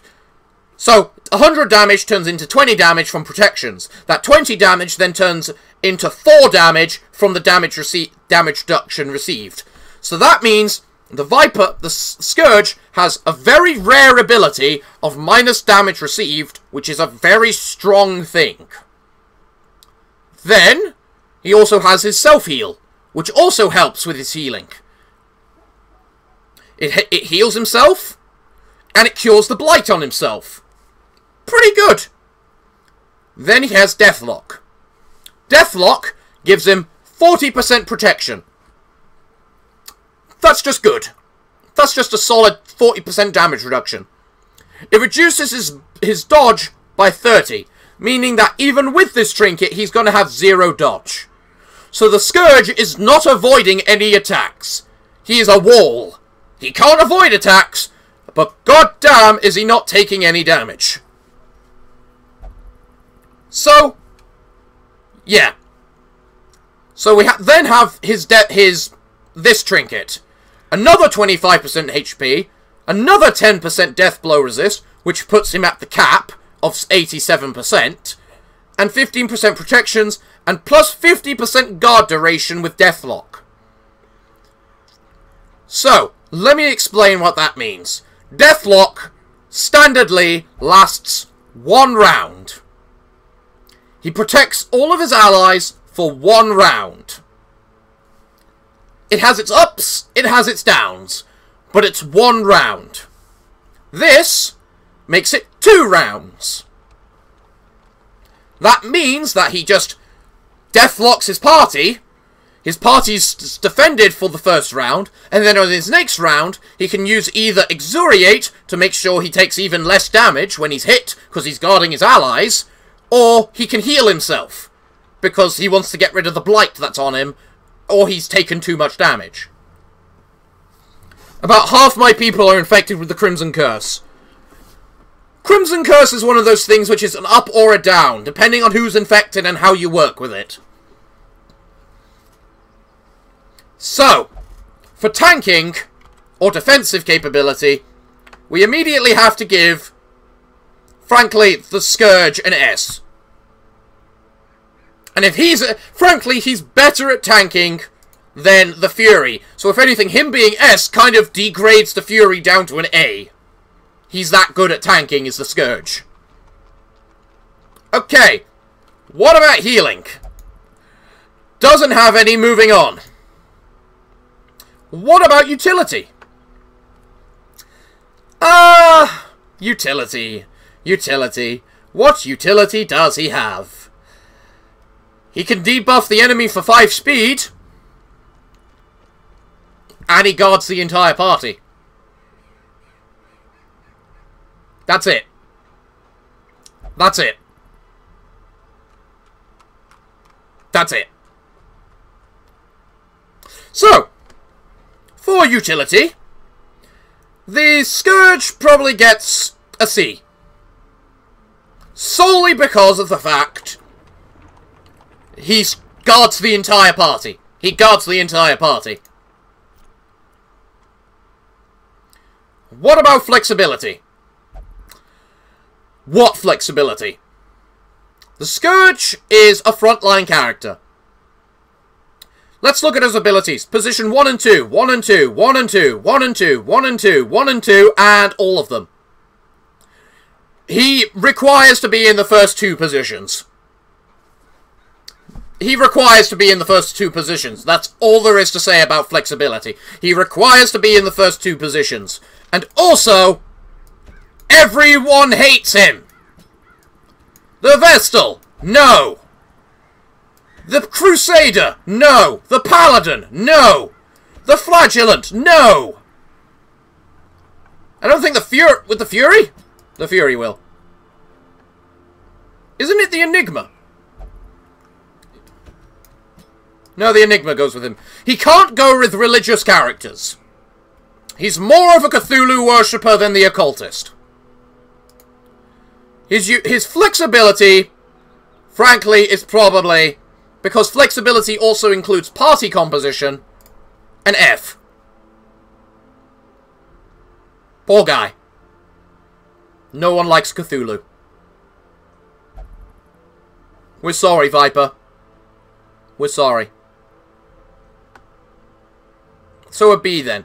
Honestly, honestly, you know what? We'll be generous. We'll give the we'll give the the Scourge a B for utility solely because he can guard the entire party. So, what does that make his overall grade? Overall grade, I honestly have to say, he is a B. The Fury is the the Scourge. The Scourge is really good at bosses. He's good at bosses because he can he's because he can just tank the entire part fight for the party. But he needs a dedicated healer. B is still a good grade. B is a good grade. B is what I consider an average grade for Darkest Dungeon at this point. Because the majority of things have been grade B. So, Scourge. Really solid character. If you want a tank, you need the Scourge. I lost my best he healer to a rare mini-boss, then was given the ability to re redirect one of my three people. And my best healer was one of them, so obviously I picked Mira the Vestal. What do you mean, redirect what? Do you mean resurrect?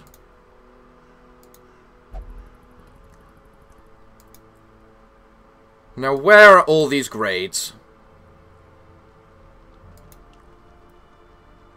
Uh, there we go. And finally... There we go. Okay. Yeah, resurrection. Okay. Next, we move on to the seer. Ah, the seer.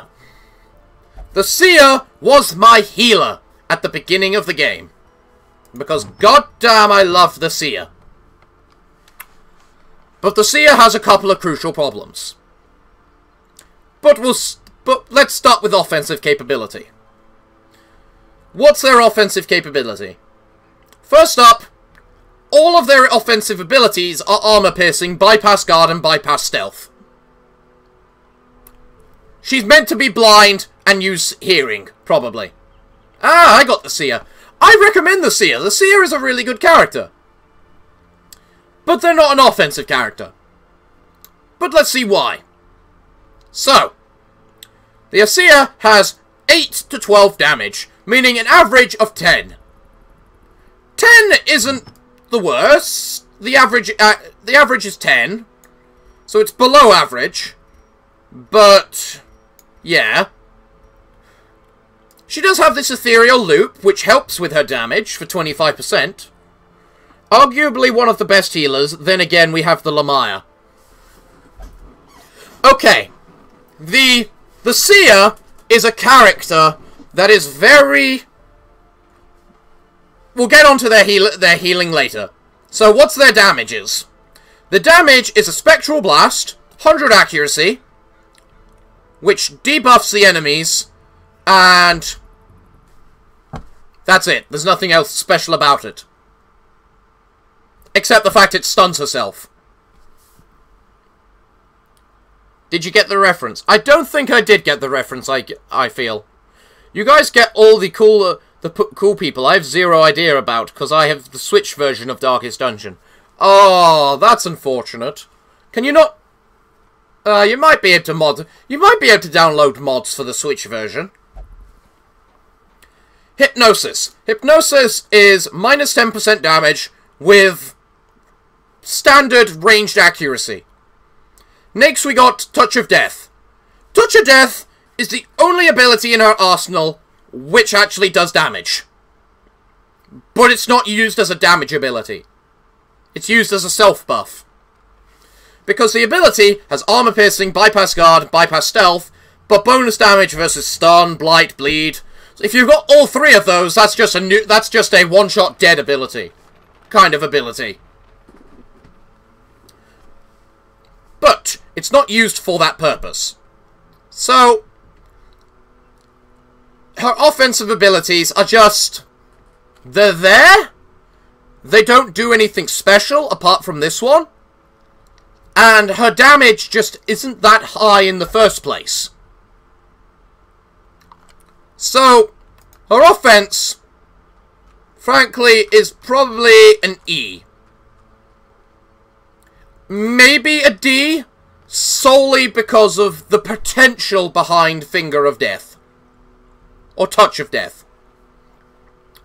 But only because of that ability. Do you have the original two heroes you started with? No. I got one of them. I got Isaac. Isaac is one of the originals. But I don't have the highway... But I don't have Hidden Monster. Which is the Highwayman. Yet. I'm working on it. So. What? So now we go on the defense, the defenses of the the Seer. The Seer has 30 dodge. That's above average. That's pretty good. They have 35 HP. That's below average. That's not pretty good. They have 60 disease resistance. I don't know why. They got 80 blight, which is below average. Six, 90 stun, which frankly they need, which is below our, which is the average.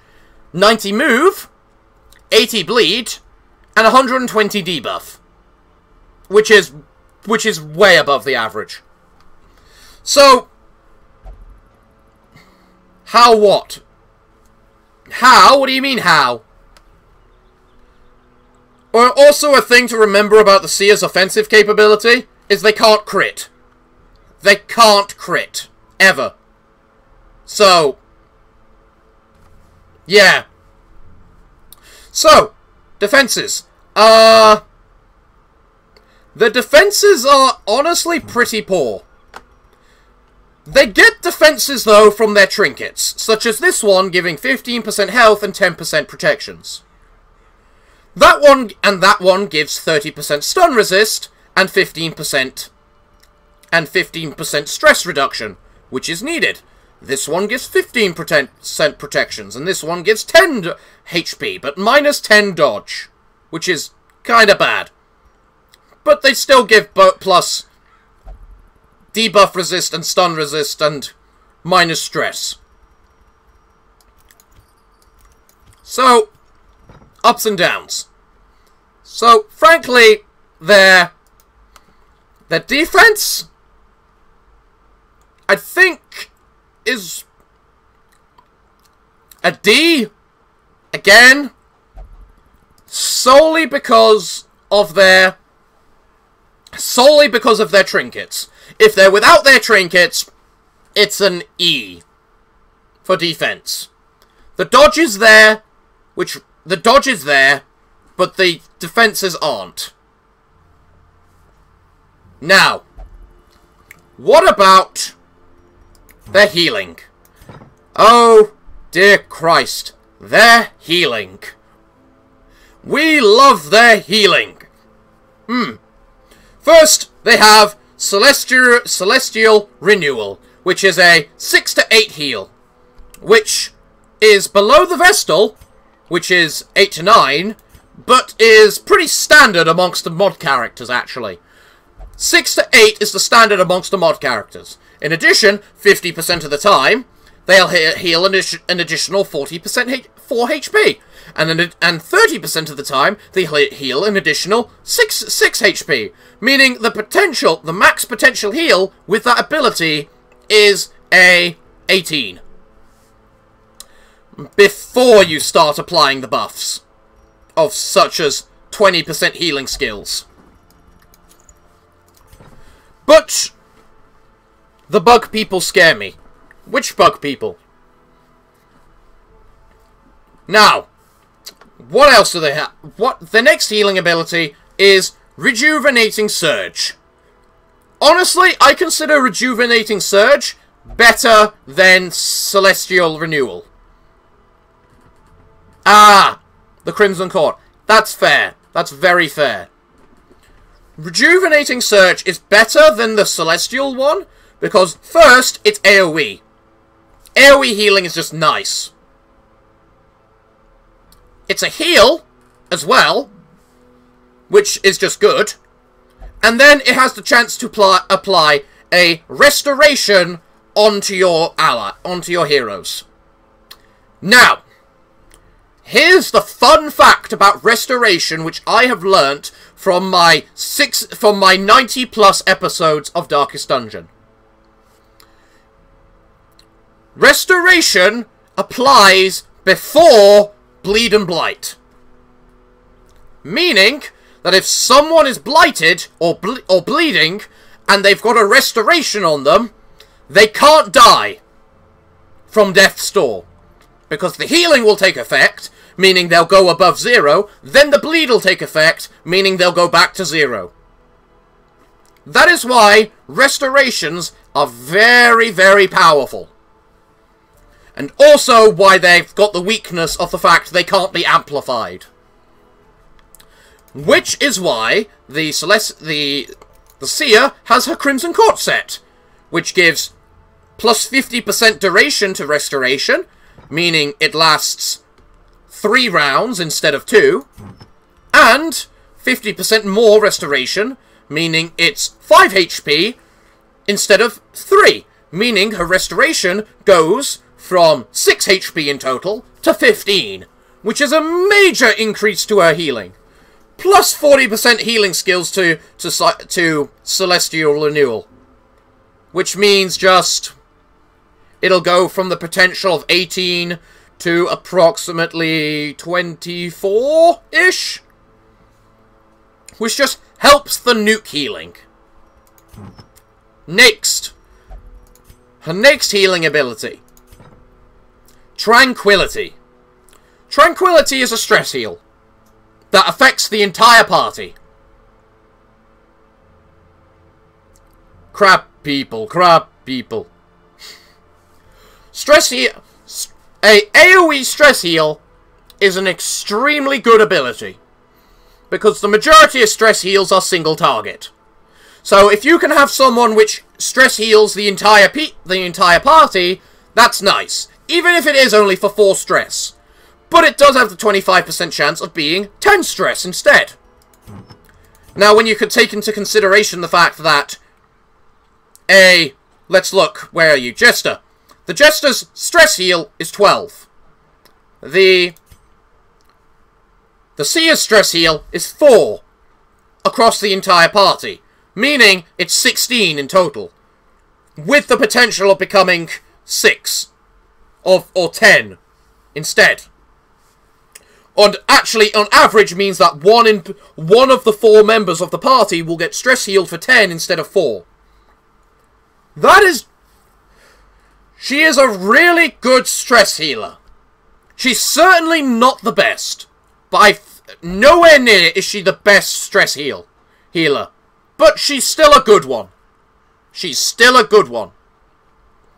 So, Healing. What is the healing grade of the Seer? They have a really big single target heal. They have an AoE heal, which gives them the ability to basically negate death from stat from oh, dots. That's the term. Damage over time, dots. And a stress heal.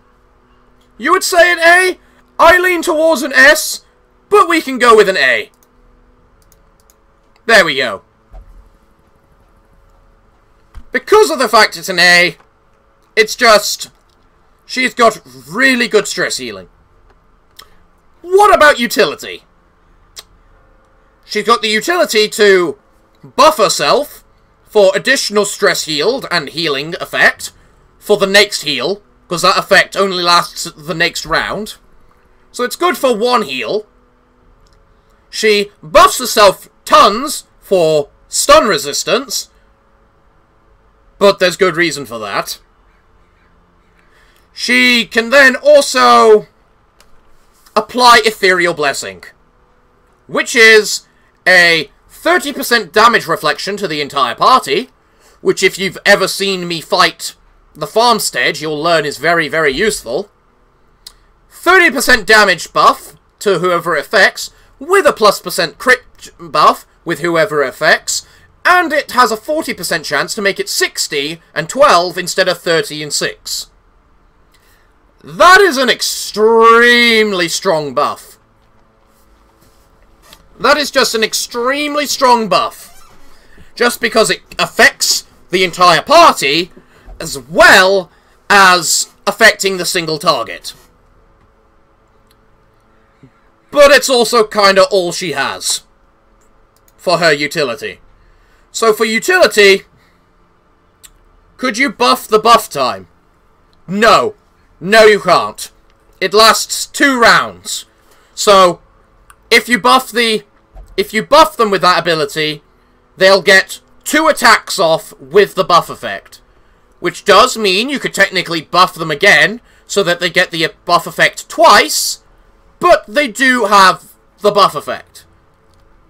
It is an extremely strong ability, and they do have the ability to augment themselves.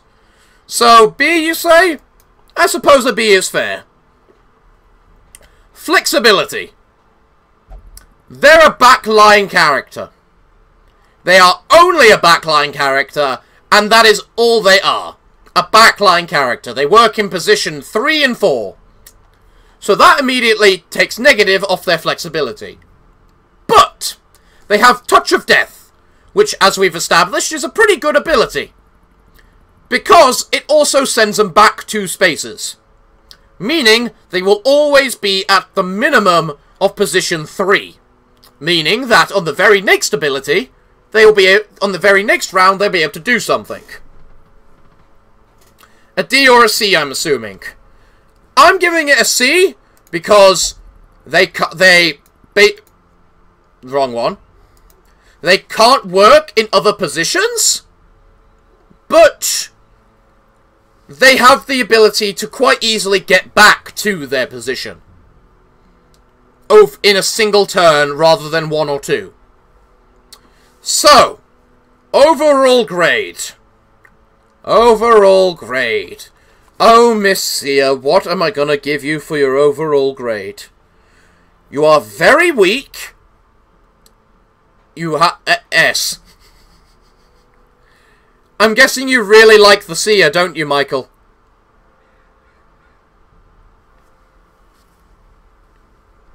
A, B, or a C? It's a C or a B. It's a C or a B. They're very... They have no offensive capability. They are a... They have extremely limited offensive capability at the very least. They are a dedicated healer with the ability to both heal, sing, big heal single, relatively big AoE, relatively big stress heal, and the ability to buff an ally so that they can do the damage instead so that they don't have to when they don't have to when they don't need to heal. So I despite the fact they were basically the healer I solely used at the beginning of the game, I gotta give him a B. Yeah, but I forgot I forget to use her. She's she has a time. She is the reason I also give her a B instead of like an A and po possibly a lean more towards a C, is because of her stun mechanic. Which is that every time she uses an ability, she can stun herself. The heals are really are real good.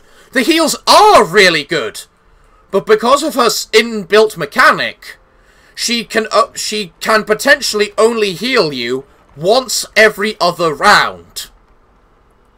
Because when she uses Celestial Renewal, she has a chance to stun herself. When she uses Tranquility, she has a chance to stun herself. When she uses Rejuvenating Surge, she has a chance to stun herself.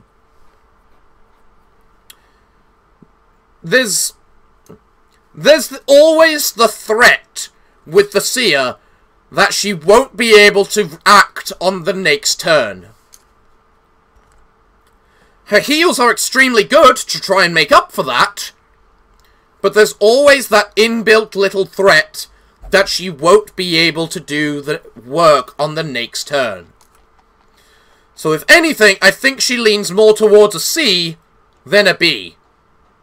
Because of the mild unreliability. It's like a Slaking in Pokemon. Yes, actually it is. It's like a Slaking in Pokemon. can only work every other uh, other round, potentially. Honestly, I find that if you manage to avoid the first round, avoid the stun the first round, you will not be stunned because of the 50% buff, stun resist buff that she applies to herself every time. And they last two rounds, so you'll be able to get up to 100% stun resistance from her abilities, which when you combine with this, becomes 200%, meaning she's pretty... she's got a very little chance of stunning herself. Okay. So, Grade C, just because there there's always the threat that she might not just, you know, do anything next turn. Next one in the list is the Crusader. I've done the Crusader, watch the videos, you lazy bastards. The Paladin. Oh, goody, the Paladin. Okay, Mr. Paladin. I'm so happy to see... I'm so happy you are live streaming again. Don't expect it for long, I'm just on a three-week paid holiday at the moment, thanks to the virus. If you want me to stream more, make me popular, so I can actually reliably stream every week. I just have to wake up early to catch you. That's the problem with time changes. So, let's talk about the Paladin. What is the Paladin? The Paladin is whatever the goddamn hell you want it to be. It can be a tank. It can be the damage dealer. It can be the healer. It probably can't be the utility guy. It can't be the utility guy. It can mildly be the utility guy. It can't very well be the utility guy. And time zones. You always stream near, near, near midnight in Asia. Yeah, but it's like that for everyone, really. So, okay. Let's talk about the, the Crusader. So, the Crusader, the Crusader's damage is pretty... The Crusader has a combo effect with its damage, okay? So, the way it works is he's got 9 to 18 damage. That is a very good number that puts him at what rank is it? Paladin, Paladin, Paladin. Uh, 16th. 16th for damage. Or completely drawn with the Shield Breaker for damage. Probably lower in rank in total with the Shield Breaker because he's got less crit, but we'll get to that. So, he has Crusader Strike for his base ability. Standard, standard accuracy 9% crit mod, which I'm at this point thinking is standard. Meaning 15% chance to crit overall, and a good solid hit. That's it, nothing special about it. Next a bit. Now, it also has the buff to buff Divine Storm for 50% extra damage. Okay. What's Divine Storm? Divine Storm is his AoE ability. Same accuracy of the standard 105, minus 50% damage mod, which is standard for when you attack two people. 6% crit mod, so light, less likely to crit. And 35% armor piercing, which, which is a pretty high number. That'll get through the majority of protections that the game offers.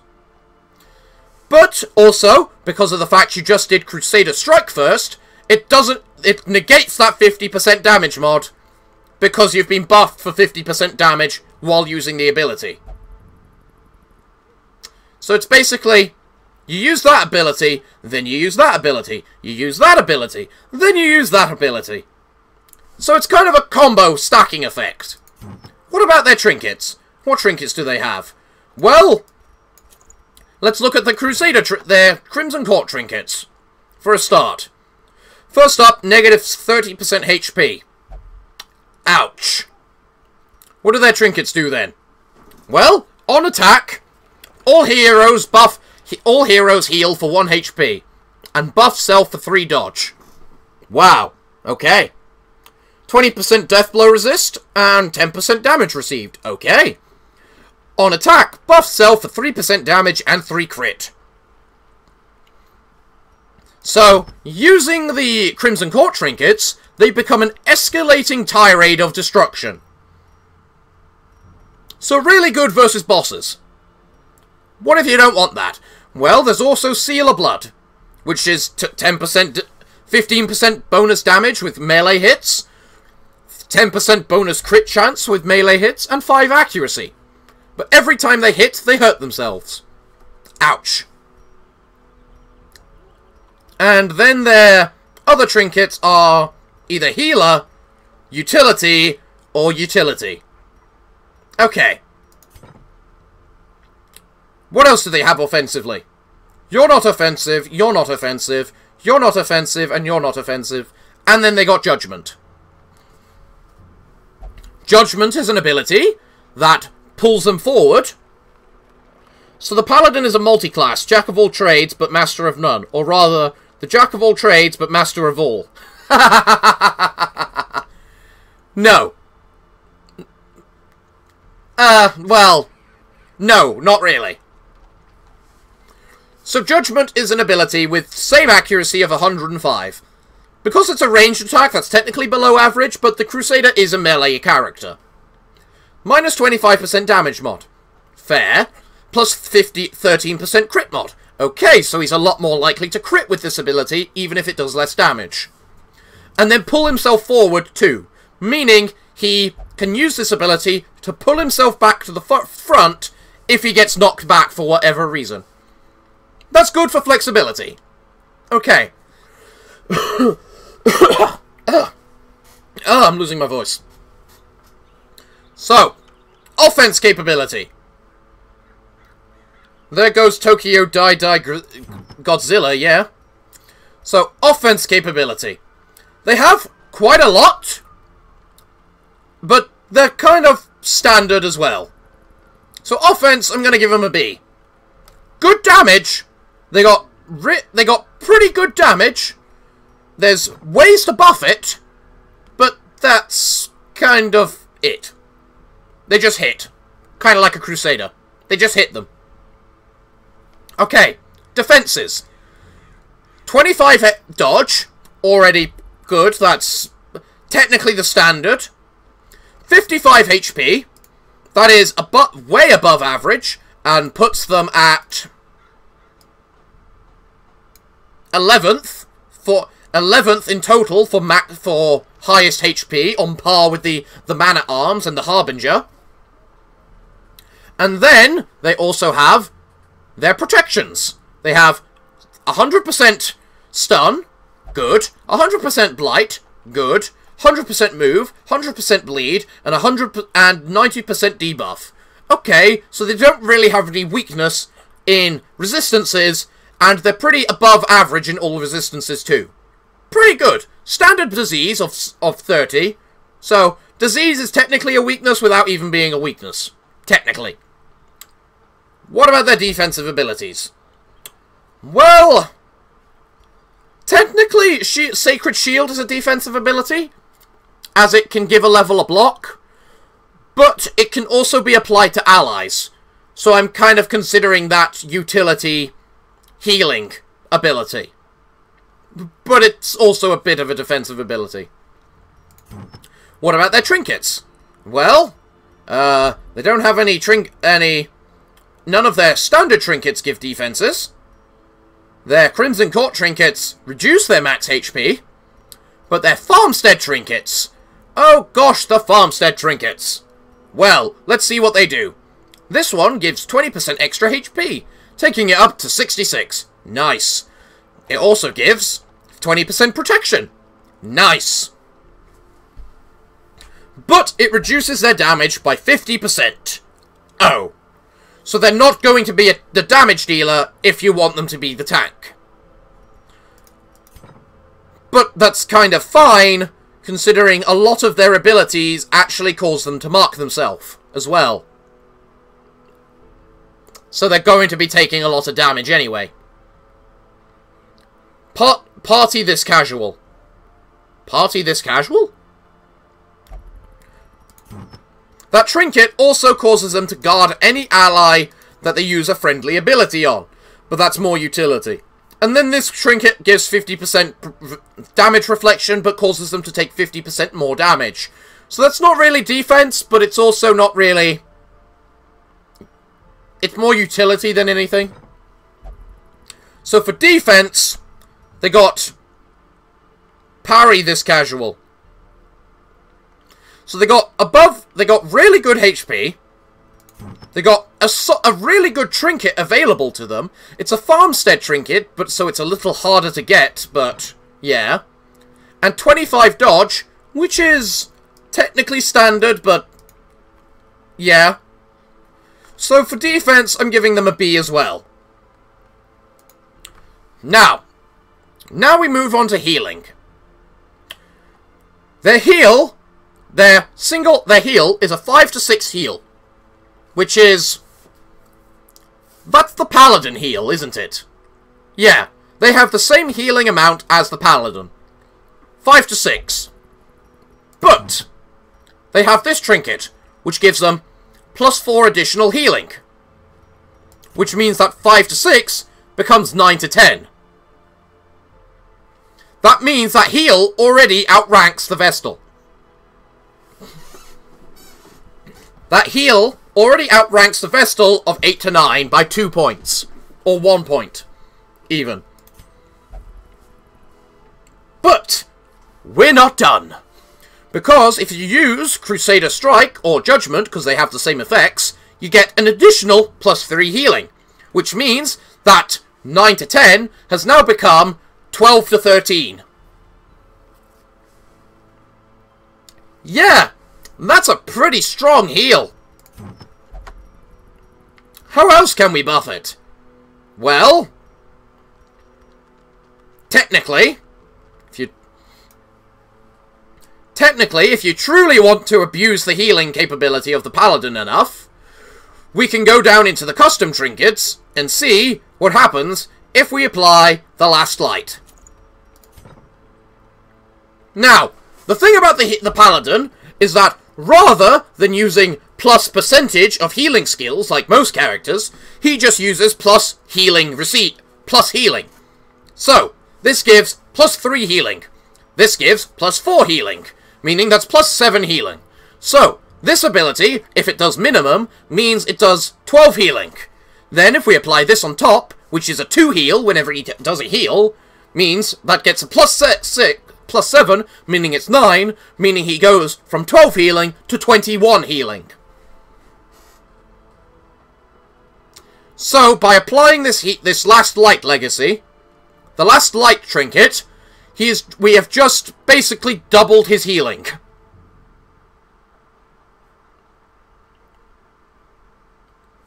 Or, or, if you want to turn him into a tank, alongside his healing, you can give him the, the Seal of Sanctuary, which means everybody he, everybody that he heals, he guards.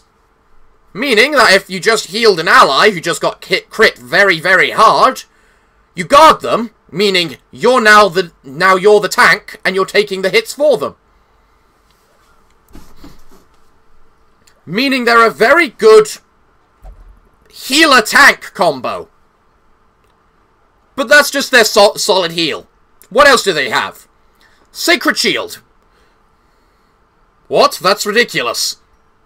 What, the what, the Last Light legacy, or the fact they they can guard their allies that they heal? So, what's the next trinket? Both. Yeah. So what's the next ability? The next ability is Sacred Shield. Sacred Shield is a block, is an ability that applies a block and then cures Blight and, Blight and Bleed. Being able to cure Blight and Bleed is always a really nice ability. Just for healing, utility, whichever way you want to categorize it. I kind of categorize it as healing. It then also buffs the target for plus 30% healing received. Which means you'll be able, so that once that block wears off, you'll be able to heal them. Very nice. Very nice. They then have this ability here. Blessing of Freedom. Which is a free action, meaning their turn doesn't end after they use it which allows them to clear stun.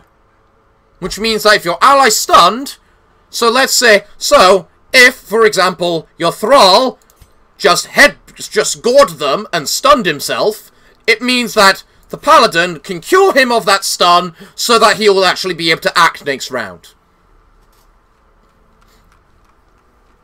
It's good. He's good. He's got a lot of healing and utility behind him. I say that he has the potential to out-heal the occultist. Because if he crits with either heal, he'll do probably about 30 healing. If he crits with both, he could do up to about 40. So, for healing, the, the Paladin is easily an A. Now, he's not an S simply because he's not an AoE healer. He can only heal a single target. And he can't stress heal either, which is another negative. But for a HP healer, he can out-heal the occultist if the occultist can that turn. If the occultist can what that turn. So, he doesn't have AoE healing, and he doesn't have stress healing. He's just a very powerful single target healer. It's why he's only A and not an S. Okay, what about utility? Clear a stun. That could be classed as utility. When he does that, he buffs people for for 200% move resist. That's pretty good. They're not moving according to the enemy. But move resist is one of the weak... Move resist is probably the weakest resistance to buff. Because simply, you can move your... The, your allies can get moved, which can screw you up as well. So, it's one of those, okay, buffs. He can buff a target for plus 30% healing received. So if you've got two healer, so if you've got a healer and an off healer in the group, and the paladin is either, he can really help the other one in in dire times. And then he's got an AoE stun, which is just a standard 140% stun with a which targets the first two people, but it doesn't do any damage, which is the downside. Frankly, I really don't like stuns that don't do damage. Because it just feels like, well, if I had just spent that term hitting them, it would just have been just as effective. Because they would die in the same amount of time. Kind of thing. But that's just me. So for utility, I'm gonna give the poor guy a D. Oh, wrong letter. D. Because he has a bit, but it's not the best. What about flexibility? mm. Flexibility for the Paladin is actually really, really strong. Funny enough. Feel the backhand of justice. Yeah, pretty much. His if you want him to be a melee character, he works, he's a frontline character that can only work in the first two positions. That's like standard for most melee characters. If he gets moved, he can use Judgment to move him back into the first two positions, because it moves himself forward. I don't see the downside right there. Okay, what else can he... But what about his healing? His healing is the best part about his flexibility because it can be used in any position. The Paladin is a character which I use for when I've created a team and I just need a healer that can be in to fill the position that's left. Because the Paladin can be in any position as a healer. First, second, third, fourth. As you can see right here, he's good in every position as a healer. And if for the melee, he can just pull himself forward and barely lose any of his damage as well on top. So, frankly, for flexibility, I easily think he's an A. He is like an S then. Honestly, yeah, he's an S. Because he's an S for flexibility. Because he can work in every position, and when he gets out of position for when he's in melee, he can just spend a turn, which doesn't cost him anything, because Judgment doesn't really lose any damage, because it's tw minus 25% instead, but it gets increased crit mod, which can make up for it, to get back into position. So, yeah, S, and, S for flexibility. So, what rank do we give the poor guy overall? I lean towards an A. It's an A or a B for me. What do you all vote for? Sounds like a B or an A. Yep, it's a B or an A. It's like a B plus. An A or a B. Yep. It's a B plus, A minus kind of character.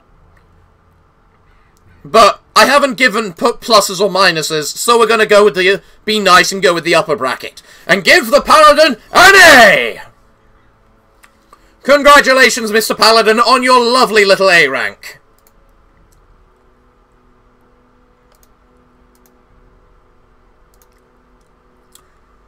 Right then. So, who is next in our list? Ah, the flagellant! Ah, the flagellant. Oh, what can we say about you? Well, there are many things that can be said about you, Mr. Flagellant. A pseudo-tank. Not really. Not really. Okay, let us start with his damage. His damage is 5 to 11. Which is very, very bad. If we take a look at his average in compared compared to everyone, it makes him the, th the, the second worst damage on par with the Martyr. Let's take a look at the Martyr. Puts him on par with the Martyr and the Librarian in terms of his base damage, not including including bleed or whatnot. But when we take bleed into effect, it's 6 bleed for 3 rounds with 115 accuracy. I didn't re okay, I I didn't realize he was that accurate with his attacks. I'll admit. I didn't realize he was that accurate. Wow. That's actually surprising. I thought it'd be 110. Anyway, he's he he's really damaging via bleed because it's so it's high damage, which is which applies fairly quickly. Six points for three rounds. Flagman, Flagman, I'm glad he's not that mad. So that's 18 damage over three rounds. That is pretty goddamn high damage. Then we go to his AoE ability, which is the back row, so he gets abil the ability to attack the back row. That's 15 damage over 3 rounds. And then we go to his Exsanguinate, which is 9, which is 27 damage over 3 rounds. There are reasons why there are images on the internet of this guy soloing bosses. You know, before his nerf. He became a flagellant because he realized his kink, or purpose in life, if you take his story into account. Alright. Not gonna cut not gonna comment. His crit is standard. 9% crit mod on the attack, 6% 6% on the character. The 6% is technically below average because the average is 7.5, but there are, but he's not a crit character. He's a dot character. So we're not going to take crit into effect for his damage. So he has these three he only has three abilities for his damage. And then his solid damage, which is fairly low. What about his trinkets? Well, he's got increased bleed chance. He's got... Uh... Let's just do that. That's plus 20% damage, which takes it to 6 to 14. That's a pretty solid damage. What else? What else? Uh... That's just... Doesn't apply to his damage, and these don't either. So, what is the damage of the flagellant, then, in this situation? He's got a 140% chance to bleed, which can go up to 175 with his Crimson Court trinket. That is an awful high chance to bleed. But, he still has the limitation that the enemy has to be able to bleed. Meaning, he's useless versus skeletons. He's useless versus undead. He's useless versus things that just don't want to bleed. So, his damage, normal damage could be a C. His normal damage is very low. His normal damage is 5 to 5 to 11. That's like D rank for normal damage. His bleed damage is what ups it quite significantly. So, his damage I personally give is a B. Solely due to the limitation that it is only bleed damage. He only gets his damage from bleeding. It's kind of the same problem that the Scourge has. The Scourge gets all of their damage from blighting. They don't get any from from hitting things. They get all their damage from blighting things. And if something just doesn't want to be blighted, well, it just doesn't want to be blighted. And the thing is, it's easier to blight enemies than it is to make them bleed. There are more enemies resistant to bleed than there are those resistant to blight. That's the thing. Blight is innately more powerful than bleed. This is the weakness of the flagellant.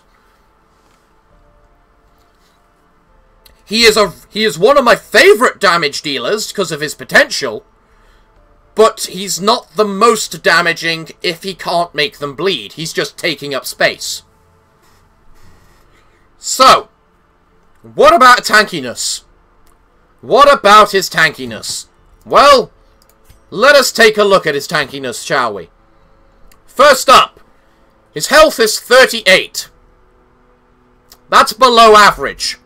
He doesn't have high health. His health, his dodge, is 20. That's below average according to the standard game, but average according to my game. So, average in that department. Resistances. He's actually really high for resistances. 40% disease resist, that's above average. 110% stun, that's good. 90% blight, that's average. 110 move, that's really good. 125% bleed resist, that's pretty insane. And 90% debuff resist, which is just standard. Does he have any special abilities to buff his res buff himself?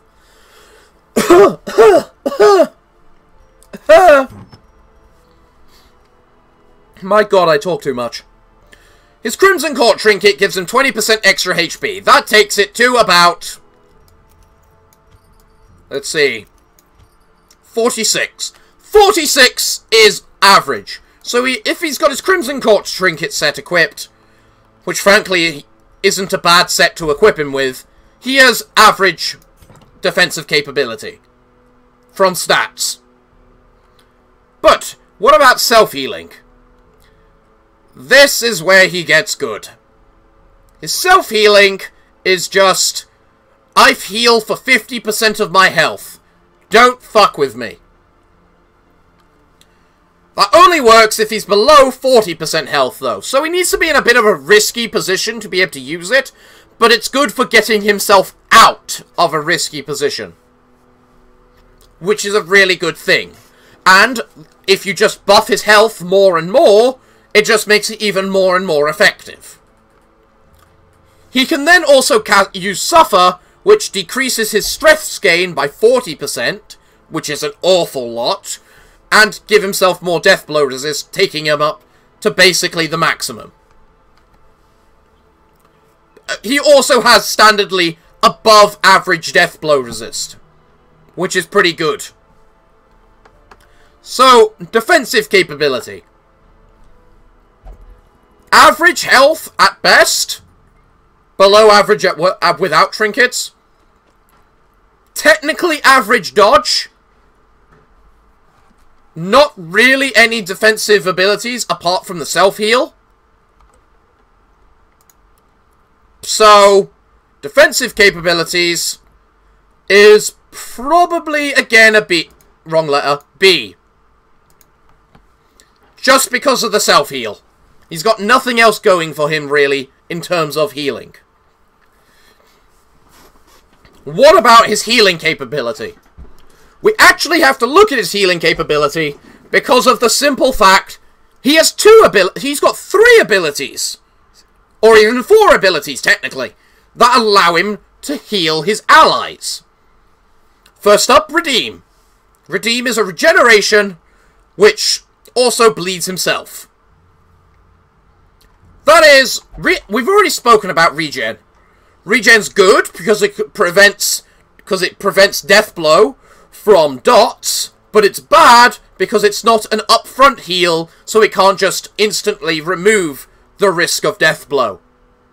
And also it isn't amplified by healing by healing skills up. So for example, if I had where's the head? If I had this head equipped for plus 30% healing skills, the regeneration effect wouldn't be affected by it. Okay? Okay. What it also means is that his debuff from his heal of minus 25% healing skills is doesn't affect his redeem either. So, redeem. 12 HP in exchange for dealing 15 to himself. Potential. It has potential. Redeem. Heal your ally for basically 50% of their health. But again, you have to be below 40% health. But this is viable because of the fact you're bleeding yourself to try and help yourself get to that percentage health. So, again, potential. The limit is that it can only be used two times per combat. Which I think they added. Because it was a bit of a joke. How, how the, the self-healing of the flagellant. So, it's a really big heal. It's a really solid big heal. But limited and conditional. Stress healing. 14 stress healing, deals 6 stress to yourself. Really? That's just solid. I've got nothing else to say about that. That's just a solid stress heal. It causes him to take stress, but if you've got another stress healer to help with that, it's just solid.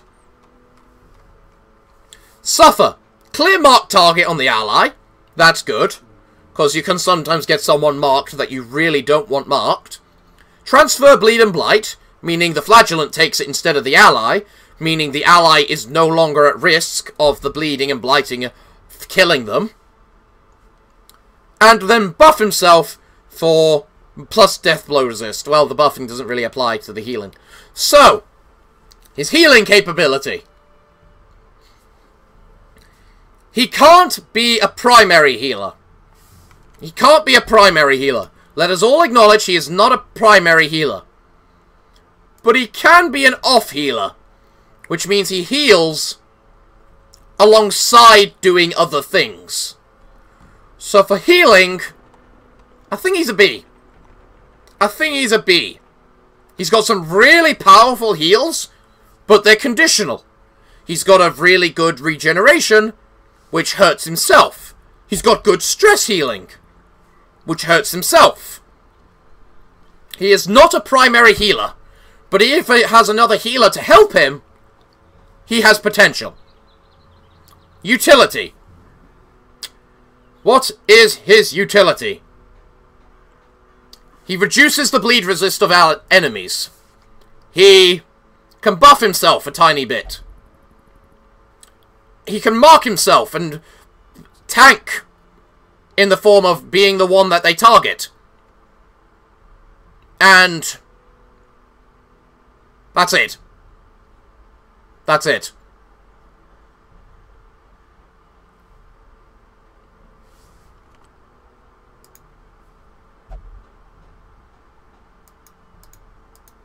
There we go. There we go. Flexibility! Again. Again! It's a it's the same case as the Paladin. He has the same case as the Paladin for flexibility. He is a frontline character, so for his damage abilities, he can only be in position 1 and 2. But for his healing, he can be in any position. Position 1, 2, 3, or 4. Position 1, 2, 3, or 4. Position 1, 2, 3, or 4. Position 1, 2, 3, or 4. So, theoretically, his flexibility is good. But he has no way to reposition himself. He can he can't push himself forward like the paladin can. So honestly, I think for flexibility, it is once again a B. Because he has capability to be in posi other positions, but generally you want him in the foot position 1 and 2 because you're going to be using him as a damage dealer because no one in their right mind is going to be using him as an off healer. Try the Rescuer. He can reset and use... He can reset the uses per battle for everyone. So all around B. Yeah, all around B. The Flagellant is a B tier character. My god, every standard base class has been a B tier, has basically been a B tier character at this point.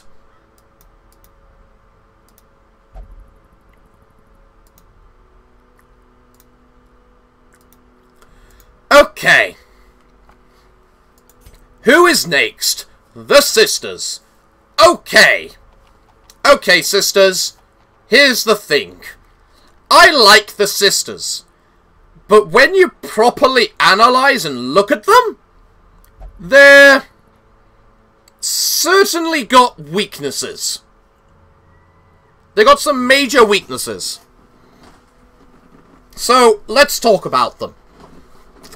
First up, they're a transform character. Just like just like the Fury, just like the Lamia, just like the Abomination, except with the fact the sisters have to transform. They have to transform. They don't get the choice. The sisters are an extremely complicated character, which I don't recommend if you're a relatively new player. So, let's talk about why. Alright? Okay. First, the offense capability. 7 to 7 to 13. That's not good. That's not good. The sisters are in the bottom half of the damage. Of the damage side scale. They're sort of an all-round character. They are, we'll get to that. They're damp, but they do have ways to augment their damage, undo different types of damage. So, their average damage, I believe, is 10-ish. 10.5, 10, whatever. So, if we look at their abilities, first up, Possession. Possession de-stresses them and stresses everyone else. Part of the reason why I don't recommend them for new players. So let's look at her Scholar abilities. Scholar ability, Weed Out. Bypass Stealth, De-Stealth, plus Accuracy if they're bleeding, which frankly is not needed because of the fact it's 115 accuracy already. It doesn't deal damage, but it marks them and blights them for four, for six, for six points of damage for four rounds. Let us compare that to the, the Flagellant, which is 6 damage for 3 rounds. It's basically the Flagellant's ability without being able to do deal damage, and with more utility, and is innately better because it's Blight. Because we've already established Blight is better. They then have a heal, which we're talking about damage, so screw moving on. They have a riposte, which means they hit back if they're hit. the ability has negative 5, 75% damage if they're in Scholar mode. But it's got 100% damage if they're in... If they're in, what am I call it? Warrior mode. Meaning there is the capability of making a riposte build out of the sisters, which is really good because it's one of the only ripostes which doesn't have a damage negative. But frankly, because of their low damage in the first place, they don't need a damage negative. Granted, it is armor piercing, just like the just like the shield breaker is. But it doesn't deal anywhere near the damage of the shield breaker. Okay, so we got that established. Now we move on to the warrior abilities, which are the ones which actually do the fighting. Trespass moves her for moves her for her forward to two spaces, 110 accuracy, which is above above average accuracy for melee attacks. 3 3% crit, which is pretty poor actually, but there's a reason for that. It's armor piercing, which is just nice. So bye-bye protections. Bypass guard, which means bye-bye little bone noble and your little bloody screw-off guard that we all hate because it's got too much protections in the first place. And always crit versus marked. Now, a crit is double damage. So, instead of 7 to 13 damage, it does about 14 to 26. Theoretically. That's good damage. That's actually really solid damage. But it is conditional, because they need to be marked. What about the next ability? It's a defensive ability, moving on. Next ability, Crimson Dance. 110 accuracy, like before. Minus 25% damage mod. Eh, they kinda don't need that. Armor piercing, fair. And bleed for 110 10, 140% chance, which is standard, for 5 points for 3 rounds, so 15 damage in total. It also causes the enemy to shuffle, which is fair, and deals 75% extra damage if they're blighted. Okay, we've already established that the, the that the sisters can blight their enemies. Okay, then what do you do? Well, so, that's their last ability. So, what is their damage? They can blight their enemy for 6 points. They can make themselves them enemy bleed for 5 points. Deal a bonus damage if they're blighted. Auto crit if they're marked, which they cause via their blight ability. And, and riposte which has negative damage unless they're in their warrior mode. Could be a B. Their damage is very B. It is very B. There is a lot of damage potential. The problem is, it's a lot of playing around with the forms and maxing out everything. So, what about their defenses? The sisters have a lot more defenses than I thought they did. So let us start with them. 43 HP. That is the average. There's, it's not like the... It's almost the average. It is the average. 43 HP is the average. They're bang on. 28 dodge. That is a good amount of dodge. It's above average, uh, barely, but it's still above average. Okay. What about defensive abilities? they have Blossom, technically, because they can use it on themselves, which is a restoration, which is nice, and a stress heal together, which is a very nice ability. But it's a healing ability, so we're not applying it to, to protections. So, Bramble, they're a riposte ability. It applies a 40% protection mod to them. That's a big number. 40% is a big number. I didn't realize they had that until I used it the other week. But that is a big number, and can actually make them able to take a hit, which is quite nice. The next offensive ability, Shroud, which causes them to move straight to the back and uh, heal themselves for 2 HP for 5 rounds. That is a very long restoration. A long restoration is a very nice restoration. It also clears marked target on themselves, which means they're less likely be to be attacked if there's another person that is marked. You wouldn't believe it with half the time they ignore mark, but it happens like that. In addition, they become stealthed, which means that the enemy can't attack them.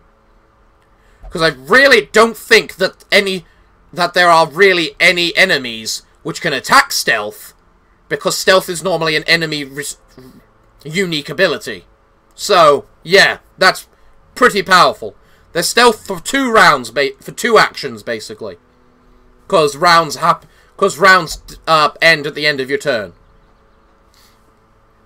And then that's it.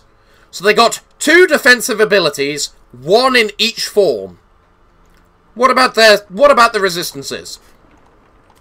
Average death blow, average disease, average average blight, average stun, average average move, average blight, bleed, above average debuff. They really average in all of their defenses.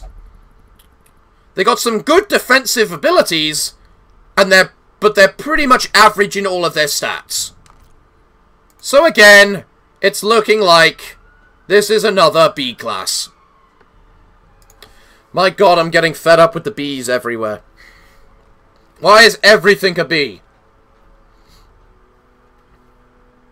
So like a C. You say a C, but it's the fact 40% is a really good number for protections. And so is stealthing yourself. So, their stats are average, but they got really powerful defensive abilities. And since when does that have uses per battle? What about their healing? They got one healing ability. Just one. They got one healing ability, which is Blossom. Which is a restoration heal for 12 health and minus 12 stress. It's a heal and a stress heal at the same time, which can also be augmented with Eternal Blossom, giving it plus 30%, uh, giving it an extra round, meaning it becomes a 16 heal instead of 12. The Soul Pact uh, from the Crimson Court trinkets, which means it's now stress heals for 16 instead of 12. The Haunting Scroll, which is stress healing as well.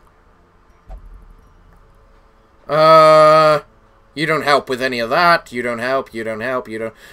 Okay, so. so their healing ability is a really good healing ability, but they only have one. They can only use it in one form, and it is single target, meaning it's limited. And it's also a restoration, not a solid heal. There's advantages to restoration and solid heals, but generally, solid heals are better. Generally. So for healing, I give the grow the I give the sisters a C. What about utility? Well, so either a D or a C. It's certainly not a D, because it's a very powerful stress heal, on par with the Jester. A lot. It's a basically the Jester's stress heal with a with a heal on top. So that is certainly not a D. And plus, the trinkets really... Ca she has a lot of trinkets to augment it. So, yeah. What about utility? Utility. Um... She's got a lot of ways to benefit herself from her other abilities. But the only way that she helps her allies is via spectral spectral watchguard, which is preventing ambush. Heck, her blackened psyche hinders the ally your allies because it gives them plus 15% stress, after all. So, the sisters have no utility. They have none. Really. They're grade F. They're grade F utility. Which is fair. Everything needs a weakness and a position. And we've already established the sisters are good at both healing, healing and offense, so... What about flexibility? The he the the sisters are a, a class which is interesting about their flexibility. Okay? First up, every ability can... Most of their abilities can be used in every position. Possession, the ability to allow them to transform themselves, every position, for obvious reasons. Weed out, every position, so you can mark them from any position. Bramble, any position, so you can riposte and get your debuff from any position. Trespass, any position, so you can get your solid attack in any position. What about the the, sh the Shroud? Shroud is the first three positions, but it sends you to the last position, so it makes sense it doesn't work in the last position, so that's basically usable anywhere as well. Crimson Dance. Crimson Dance is the awkward one because it can only be used in position 2 and 4. And then it moves you forward one as well. So, that one's a little...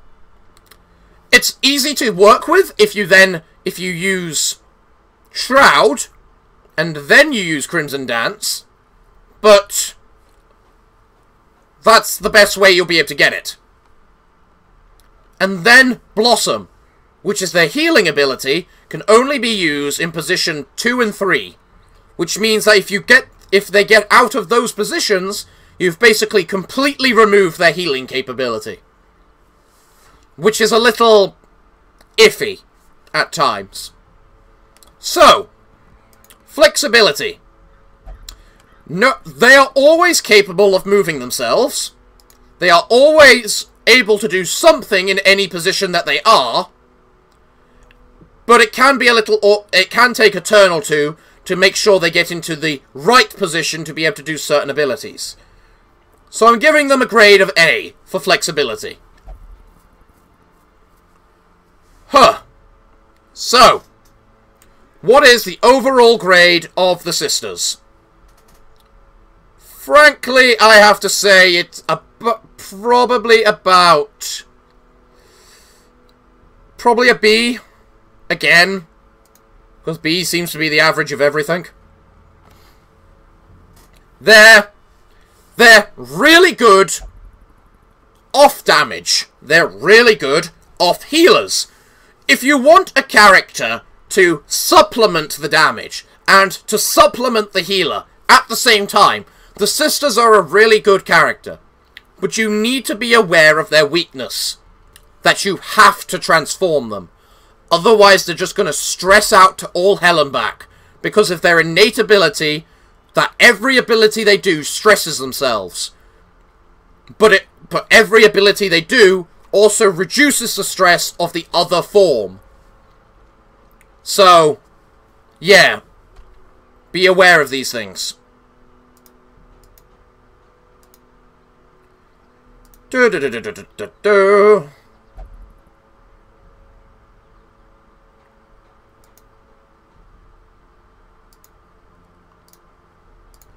Okay.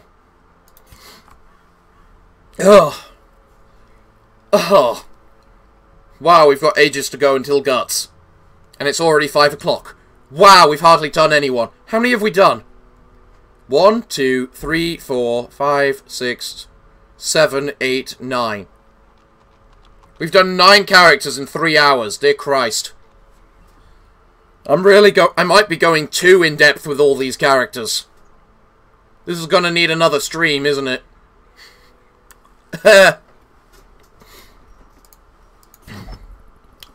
okay. So, the Falconeer.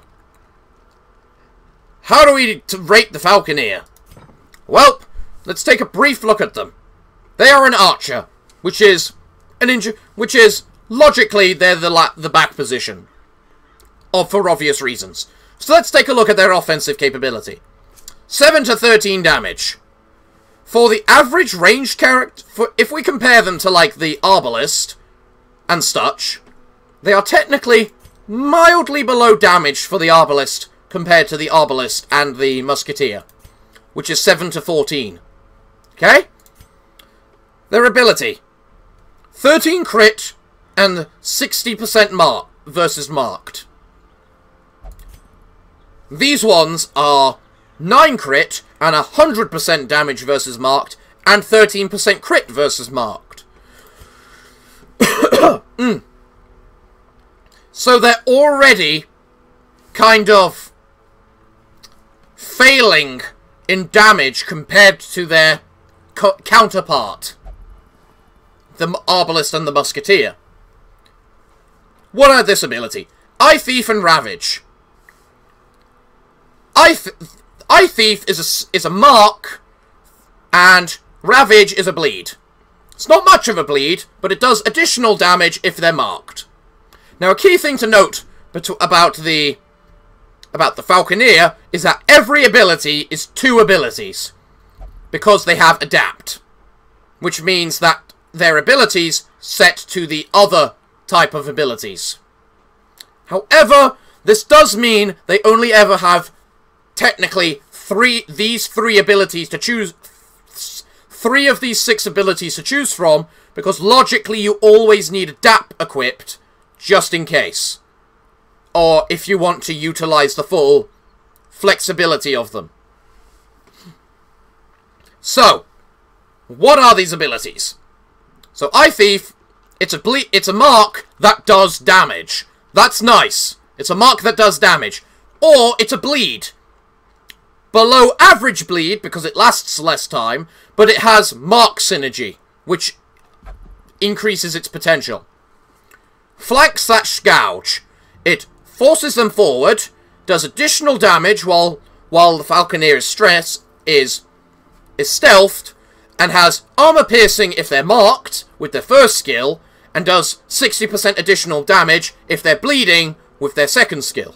So, if we work on the basis they're bleeding, that has basically the same damage as the as their standard attack. Next they have Volley Fire, which is the which is attack the back three for negative 45% damage. That is that is certainly above average for for damage in terms of comparability but they don't have the most damage to begin with to be able to be able to all take full effect, effect of that. Hmm. They, oh, their second ability is a debuff, which does less damage, though. Next is Spirited Cry, which cures cures stun of all allied heroes and gives them additional gives them additional crit chance and minus stress. That's all very nice. Their second ability is that it stealths them instead. And they have additional crit while stealthed. Very nice.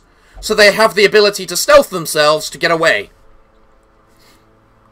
Next is Fleeting Escape, which sends them back two positions. It has 115 accuracy, which is standard, Minus 66% damage mod, which considering its ability is to basically send you back into archery position, is very nice, because it's just not good. And uh, mm. The first effect is that it stealths them and clears marked, and then the second ability effect is that it does more damage instead and knocks back the enemies. But that knockback has reduced chance to succeed because it's 130 instead of 140. And then their final ability of adapt to change the abilities around. Okay. So. There's clearly the obvious... Their damage definitely seems below, below the Musketeer and the Arbalest. Despite filling the same role. Doesn't it? I can't remember what damage I gave those two. But considering they've got reduced damage in the first place, reduced not less synergy with marked characters, with marking compared to those two, better ability to mark, but that's utility, not damage. Gouge has a lot of potential, technically, but that involves turning them into a melee character. Which, if you combine... Now, uh, so it's looking like they're maybe a C grade for damage. So let's look at their trinkets. Bonus damage while stealthed. Okay.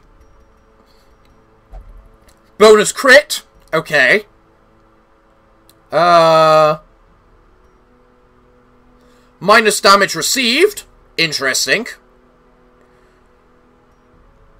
Bonus damage versus bleeding. Bonus crit. Increased skill chances with bleed, move, and debuff at by 30%, which would take it to most of them to 170, which is quite significant. And the trinket set says plus 25% damage if in position 2, which by that logic means if you're using gouge, or flank, or whichever ability of it you're using. So, that's kind of interesting that their Crimson Court set favours basically the melee build of the Falconeer. But let's also take a look at the trinkets which are involved with the Falconeer, the Mother, the Talon trinkets. Because the Talon trinkets are part of the Falconeer class, so to associate them with the Falconer doesn't seem that too far of a stretch. So what do we have? Mother's Arrow. Bonus damage versus bleeding. On on monster kill, heal 10% health. Nice. Bonus bonus speed plus dodge. That's a lot of dodge. That is a lot of dodge. And then you have bonus damage and accuracy for targets below 25 20% 50% HP. So basically, you can kill the you can kill those near death even easier. Nice. Okay. What other ones are there? There is... Where are they? Where are they? Where are they? The Butchered Bird. Plus 15% damage, 6% crit, and 20% stress. It's a big stress negative, but that crit bonus, along with the damage bonus, is a very nice thing. Alright? That's a big... That's a very good trinket for damage. You just need to be able to manage the stress all associated with it. Carrion Claw. Plus crit, minus health, on attack, clear or enemy corpses. That's utility and and damage because crit. What is your base crit? 11. The Falconeer is a crit character. Their base chance to crit is 24% chance because their arrow has 13 and their base chance is, is, is 11. They are a crit character. If we take a look at the other trinkets that come with the birds, we have Feather Net, more debuffing, Harrying Boots, more debuffing, Sentry Kite, defensive, defensive with the protection, and utility with the scouting, and then Shrike's Mask, which is bleeding. A lot of bleeding. An awful lot of bleeding. So let's take a look at the Musketeer's crit. Base crit, 10%. Crit mod, 9%. If they're marked, 13%. That takes it to 32%. So that means even with the the the ranged character, the Falconeer being a crit character, they still have less crit and less damage and in every way than the Falconeer, the Musketeer, and the Arbalest. But they are still a damage character, and aren't the worst at it. So the damage is a C. What about their defensive capabilities? they have surprisingly high defensive capabilities, actually. If we compare them to the Arbalest and such like again, which is I'm going to keep doing because that's what they're based that's they fill the same role. 20 dodge for the Arbalest, 47 HP. 23 43 HP and 25 dodge. So more dodge, but a little less HP. Frankly, the more dodge probably makes up for that little less HP, on average. Compared to most other characters. What about their resistances? Above average disease, average blight, average 90% blight, 90% stun, 85, 85% move, which is technically below average, but probably near enough for it to be fine. 90% uh, bleed, and 90% debuff. The resistances are entirely average. There's nothing to be said about that. But they have... What do they have for defensive abilities, though? Stealth. They have two different ways to give themselves stealth. And while stealth itself is not a defensive capability, is not innately defensive, it is definitely used for defenses. Don't worry, Michael. I think this might be the last review because my voice is dying. I think 10 characters is good for now. We still have another 48 to go. Uh. No, wait, that's not including the six I did. We have another 42 to go after this. Ugh. So. So. Huh. Defensive capabilities. Defense, quite good for defense. I'm just going to have a quick check at what rank I gave the... At what rank I gave the Arbalest and whatnot.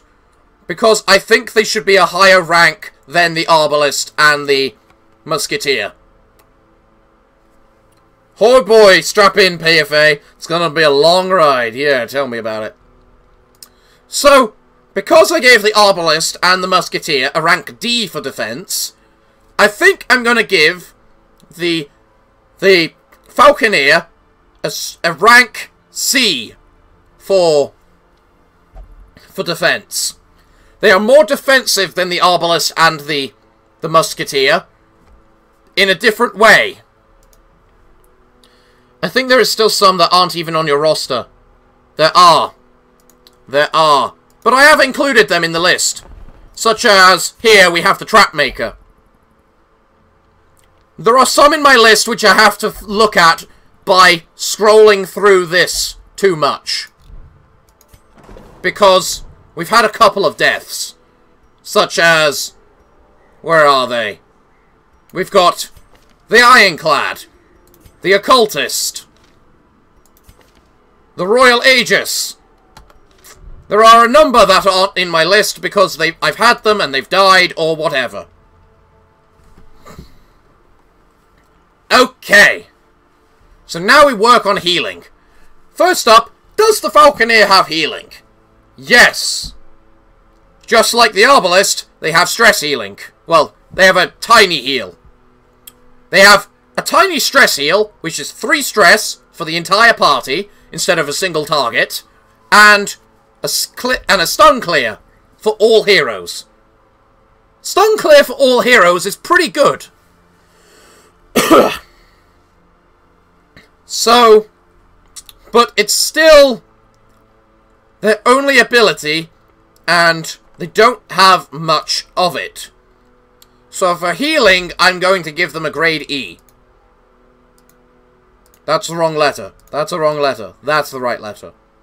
Because again, I think I gave the Arbalest and other one a rank F for healing, which frankly the Falconer should be, but the ability to clear stun has its uses. What's that? The healing is a C or a D, or the defensive capabilities is a C or a D.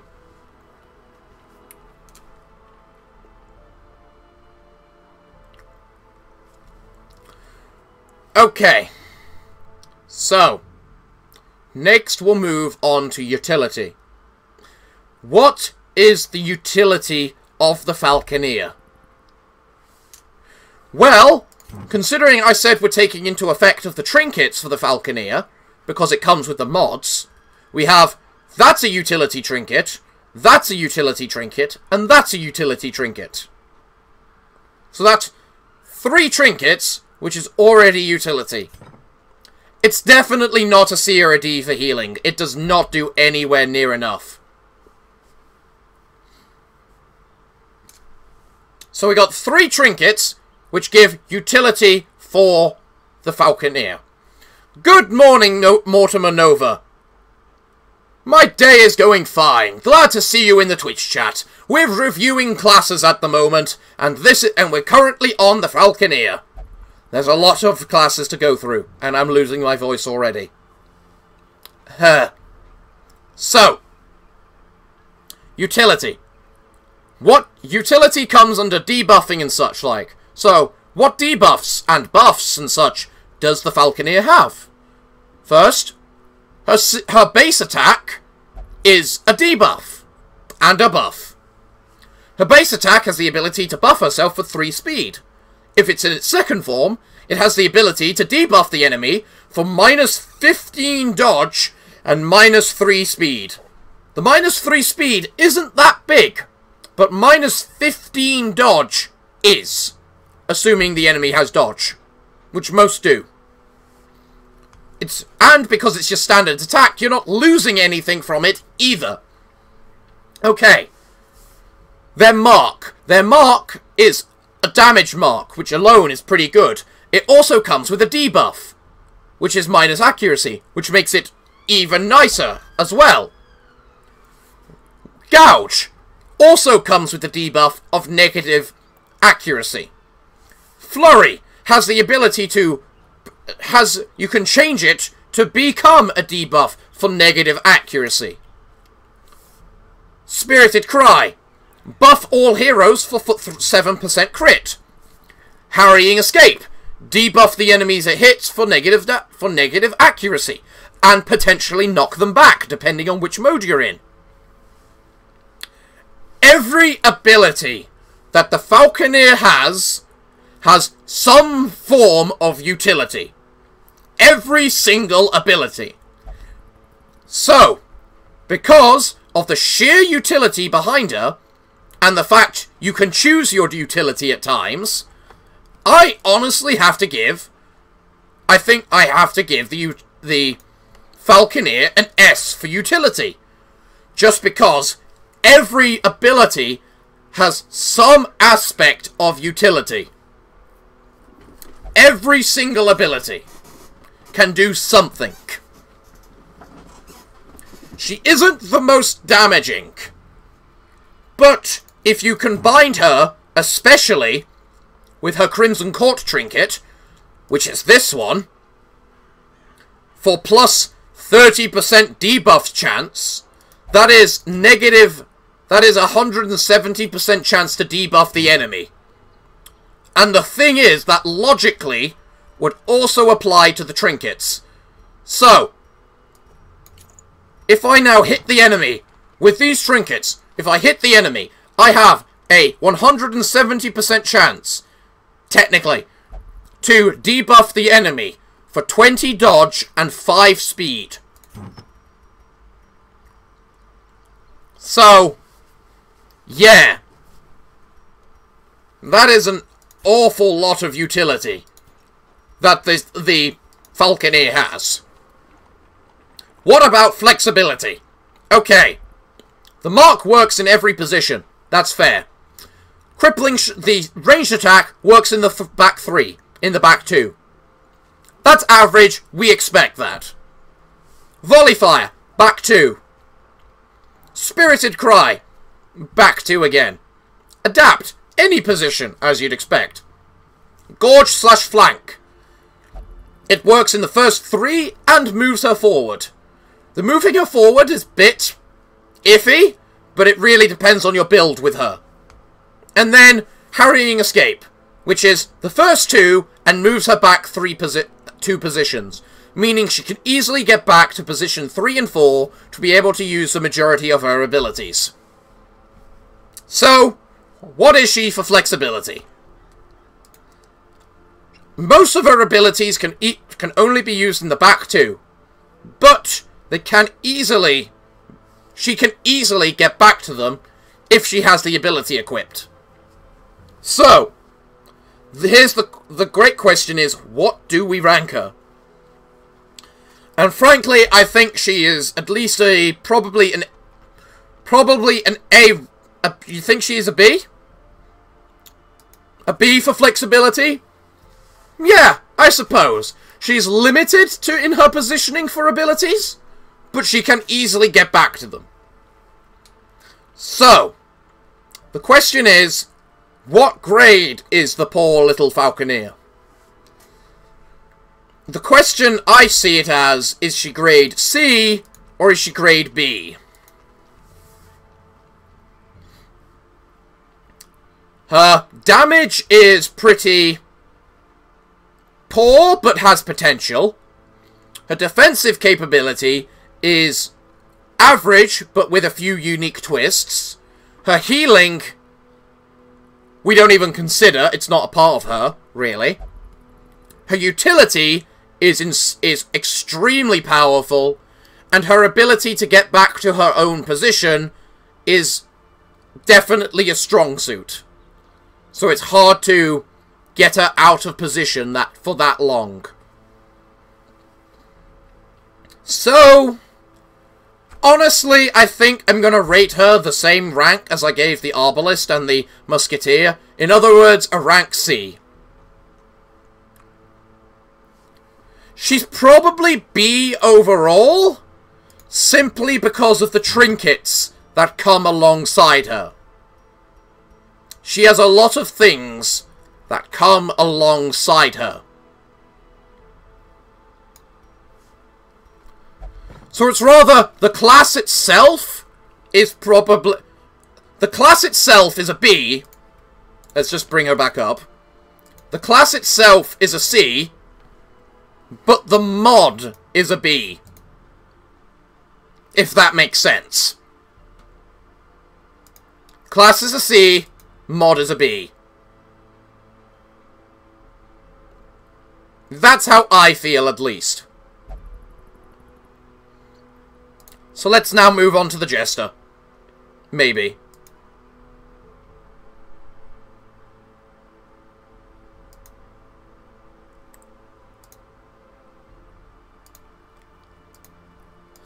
mm. Let's see, how many characters have we done? One, two, three, four, five, six, seven, eight, nine, ten. God Christing damn it. Okay. So, I think... Can your throat still hang on? That is the question. The problem with my throat right now is that I don't actually feel any achiness behind the throat. It's just getting a little bit harder and harder to talk. It's more like I'm losing my voice rather than it is my voice is actually hurting. Which is a very weird sensation, to say the least. So, Viper, we'll do one more review. Pick a class. Pick a class. We'll review one final class in my list.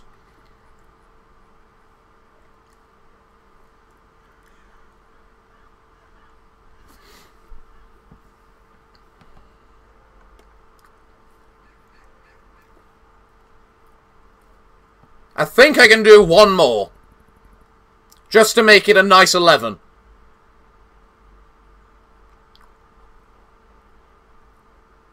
How about the Wrath? Which one? We've got this Wrath. We've got... Da da da. This Wrath. And then we have... Where is he? The Dark Wrath. Or Wraith. We got the Wraith, the Wraith, and the Dark Wraith. Which Wraith?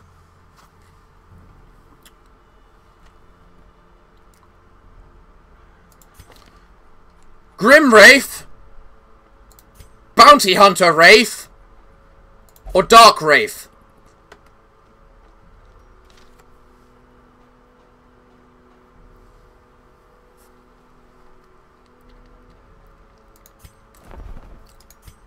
What are the trinkets for the characters I've reviewed so far, by the way?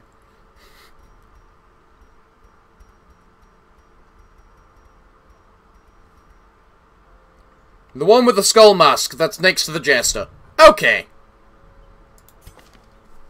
Okay.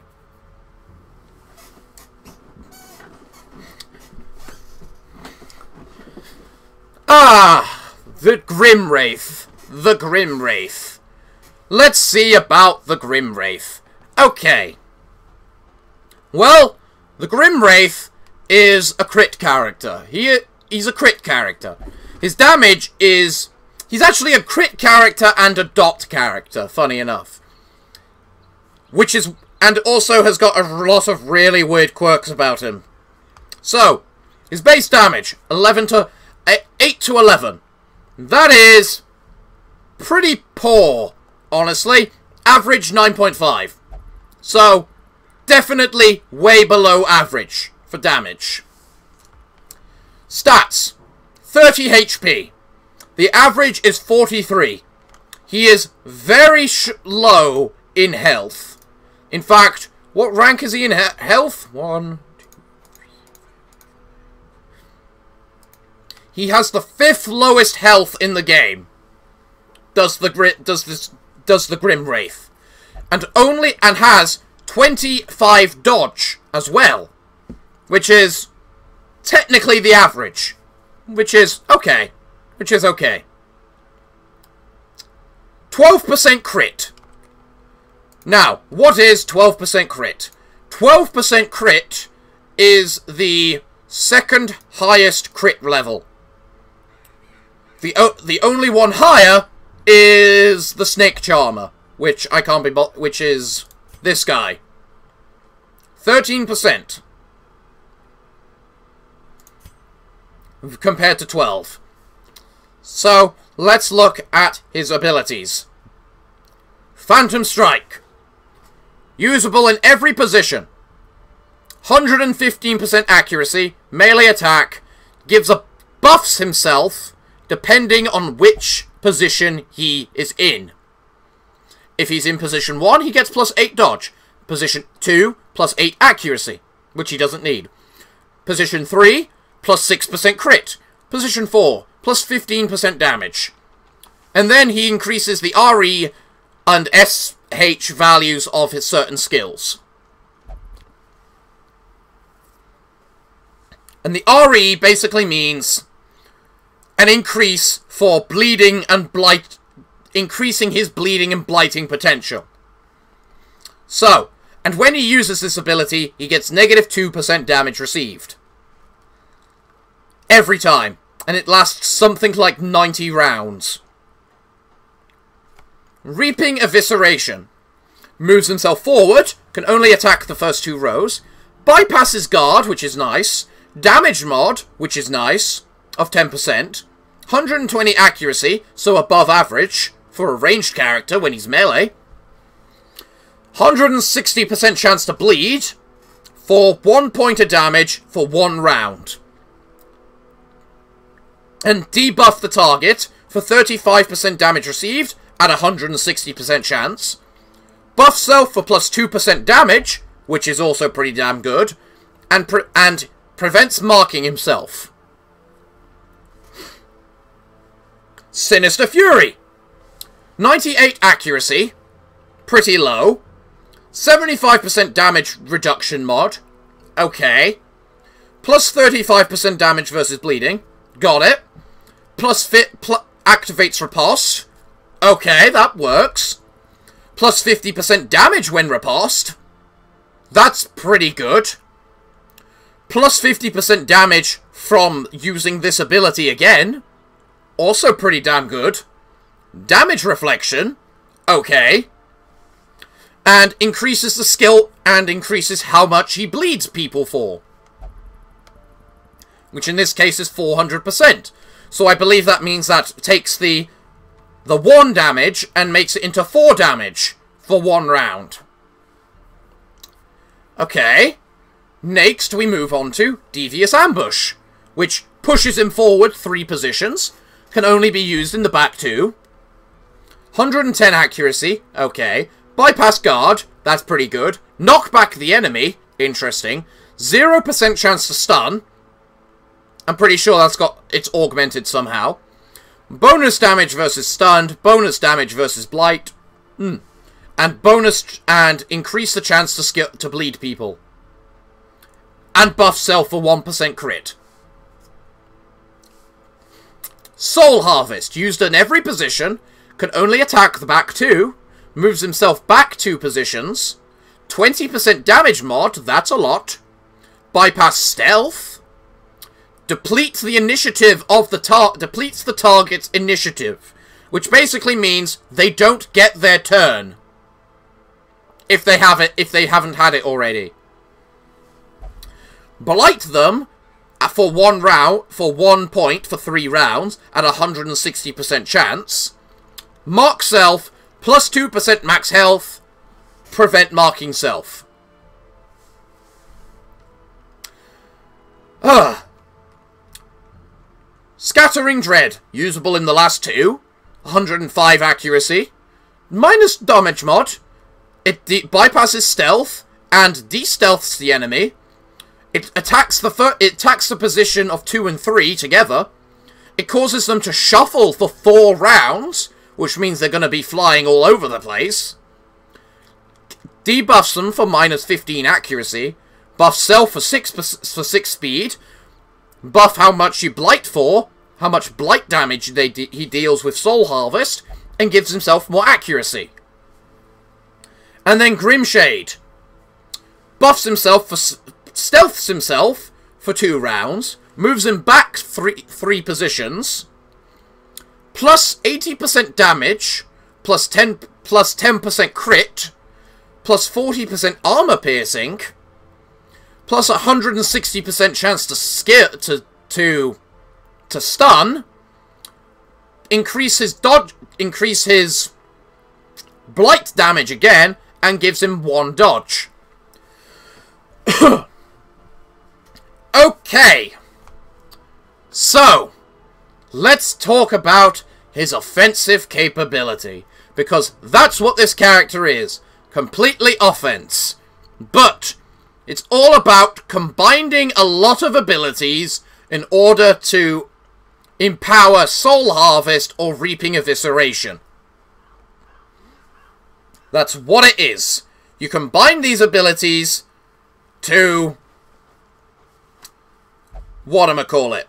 Com you combine these abilities to power these two. He's got a 160% chance to bleed or blight, which is basically extremely powerful. It is a very powerful bleed and blight that. But it does so little damage unless you use abilities previously. And these abilities all buff himself, but that's not important for the damage. So, what is his damage? It is extremely hard to tell what his damage is. His base damage is pretty poor. So, Phantom Strike, with 15% damage mod, would only be basically how much it says right here, 9 to 13. Possibly 9 to 14, which is technically above average uh, compared to the Musketeer and the thing, because Musketeer and Arbalest because they're 7 to 14. So possibly a bit better than them, but not really that much better. He... Uh, every one of his abilities is used to basically empower these two abilities. To empower the Blight and... Could be a B. I'm going to give it a B. Just because I don't know how else to rank it. Because there is tons of potential, but there's tons of ways to fuck up as well. To make it absolutely terrible. What about defense? His health is garbage. His dodge is average.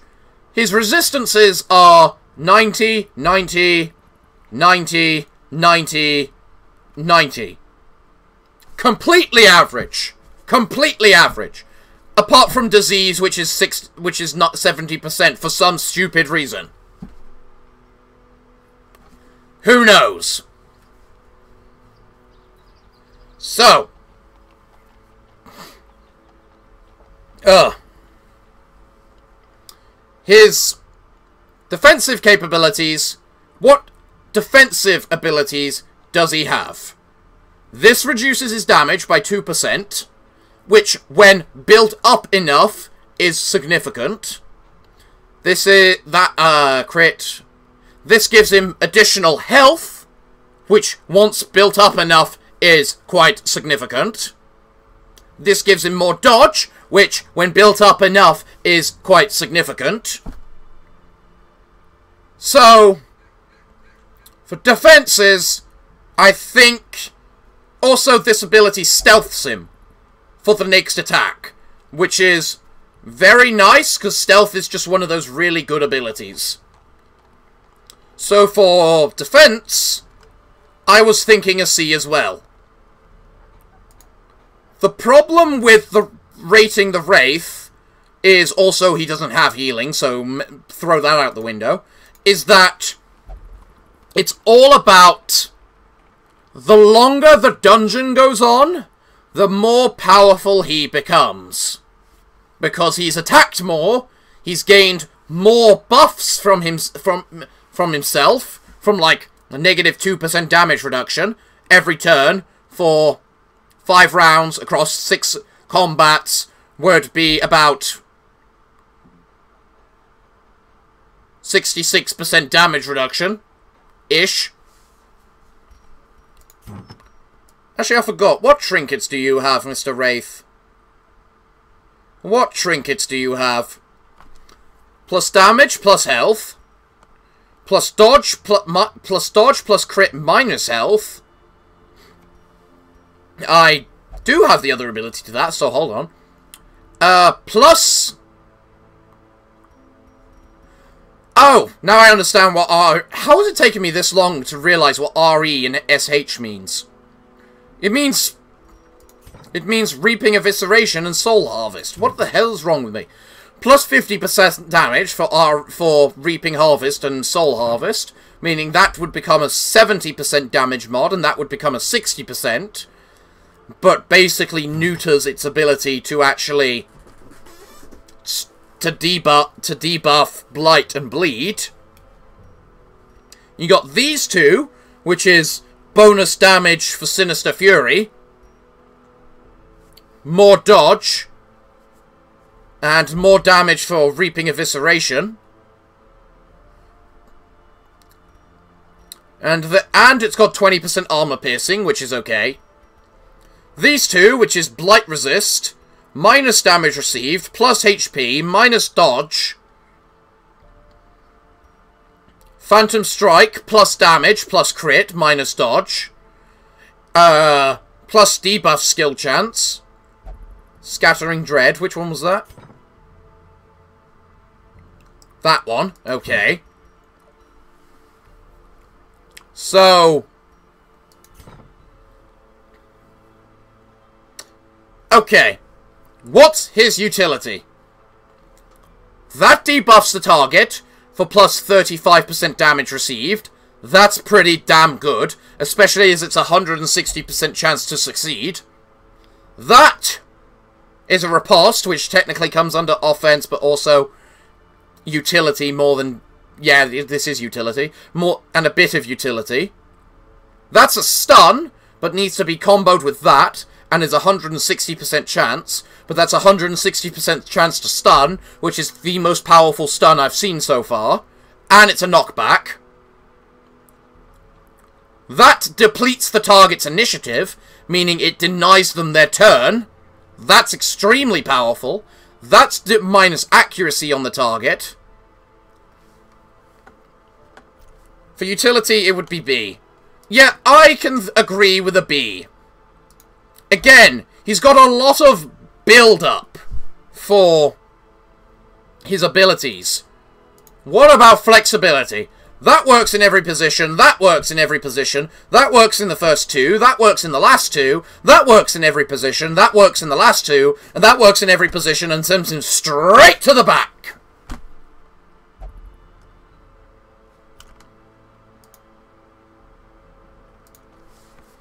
Can we disagree with that? Can we honestly disagree with that? His primary attack works in every position that his his special attacks work in every position. His defensive ability, technically, works in every position. And then he's got two abilities that work in the back to back two, and one that works in the back in the first two.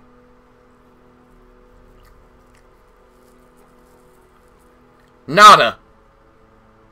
You don't agree with an S rank for his flexibility?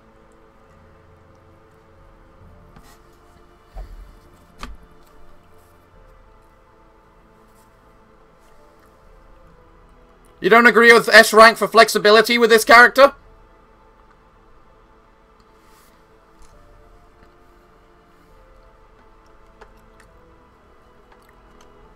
Because I think... I really think he work. He can be in any position. He can only be a heal. He can only be a damage dealer, though. So that kind of hinders his flexibility for his role. But it's a case of he can be different types of of damage dealer. He can be the melee damage dealer. He can be the the off damage dealer with utility attached. He can be the primary range damage dealer. So, what about an overall grade?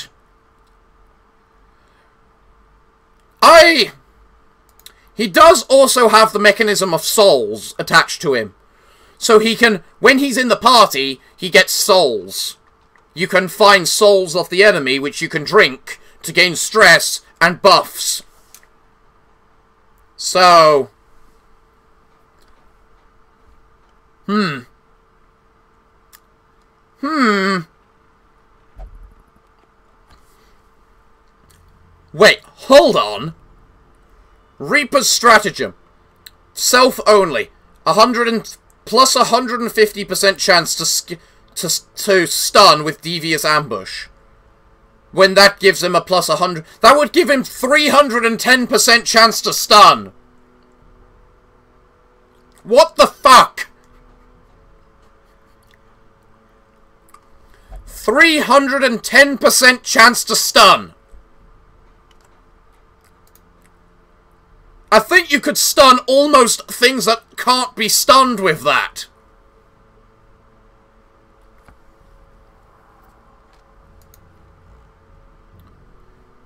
But yeah, I agree.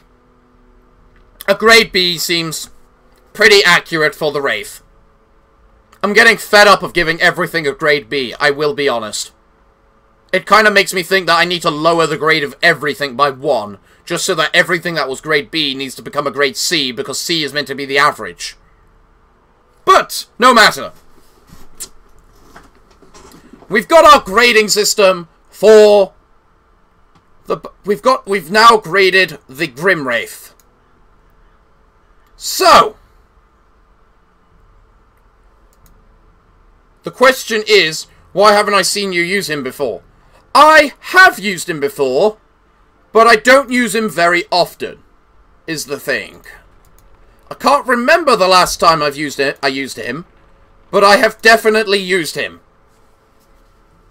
Or why haven't you seen him use him more? Oh, because squish. I don't. I'm not the biggest fan of squishy characters. And 30 HP is squish. It's the fifth lowest out of all of the characters. Well, everyone, my voice is dying at long last.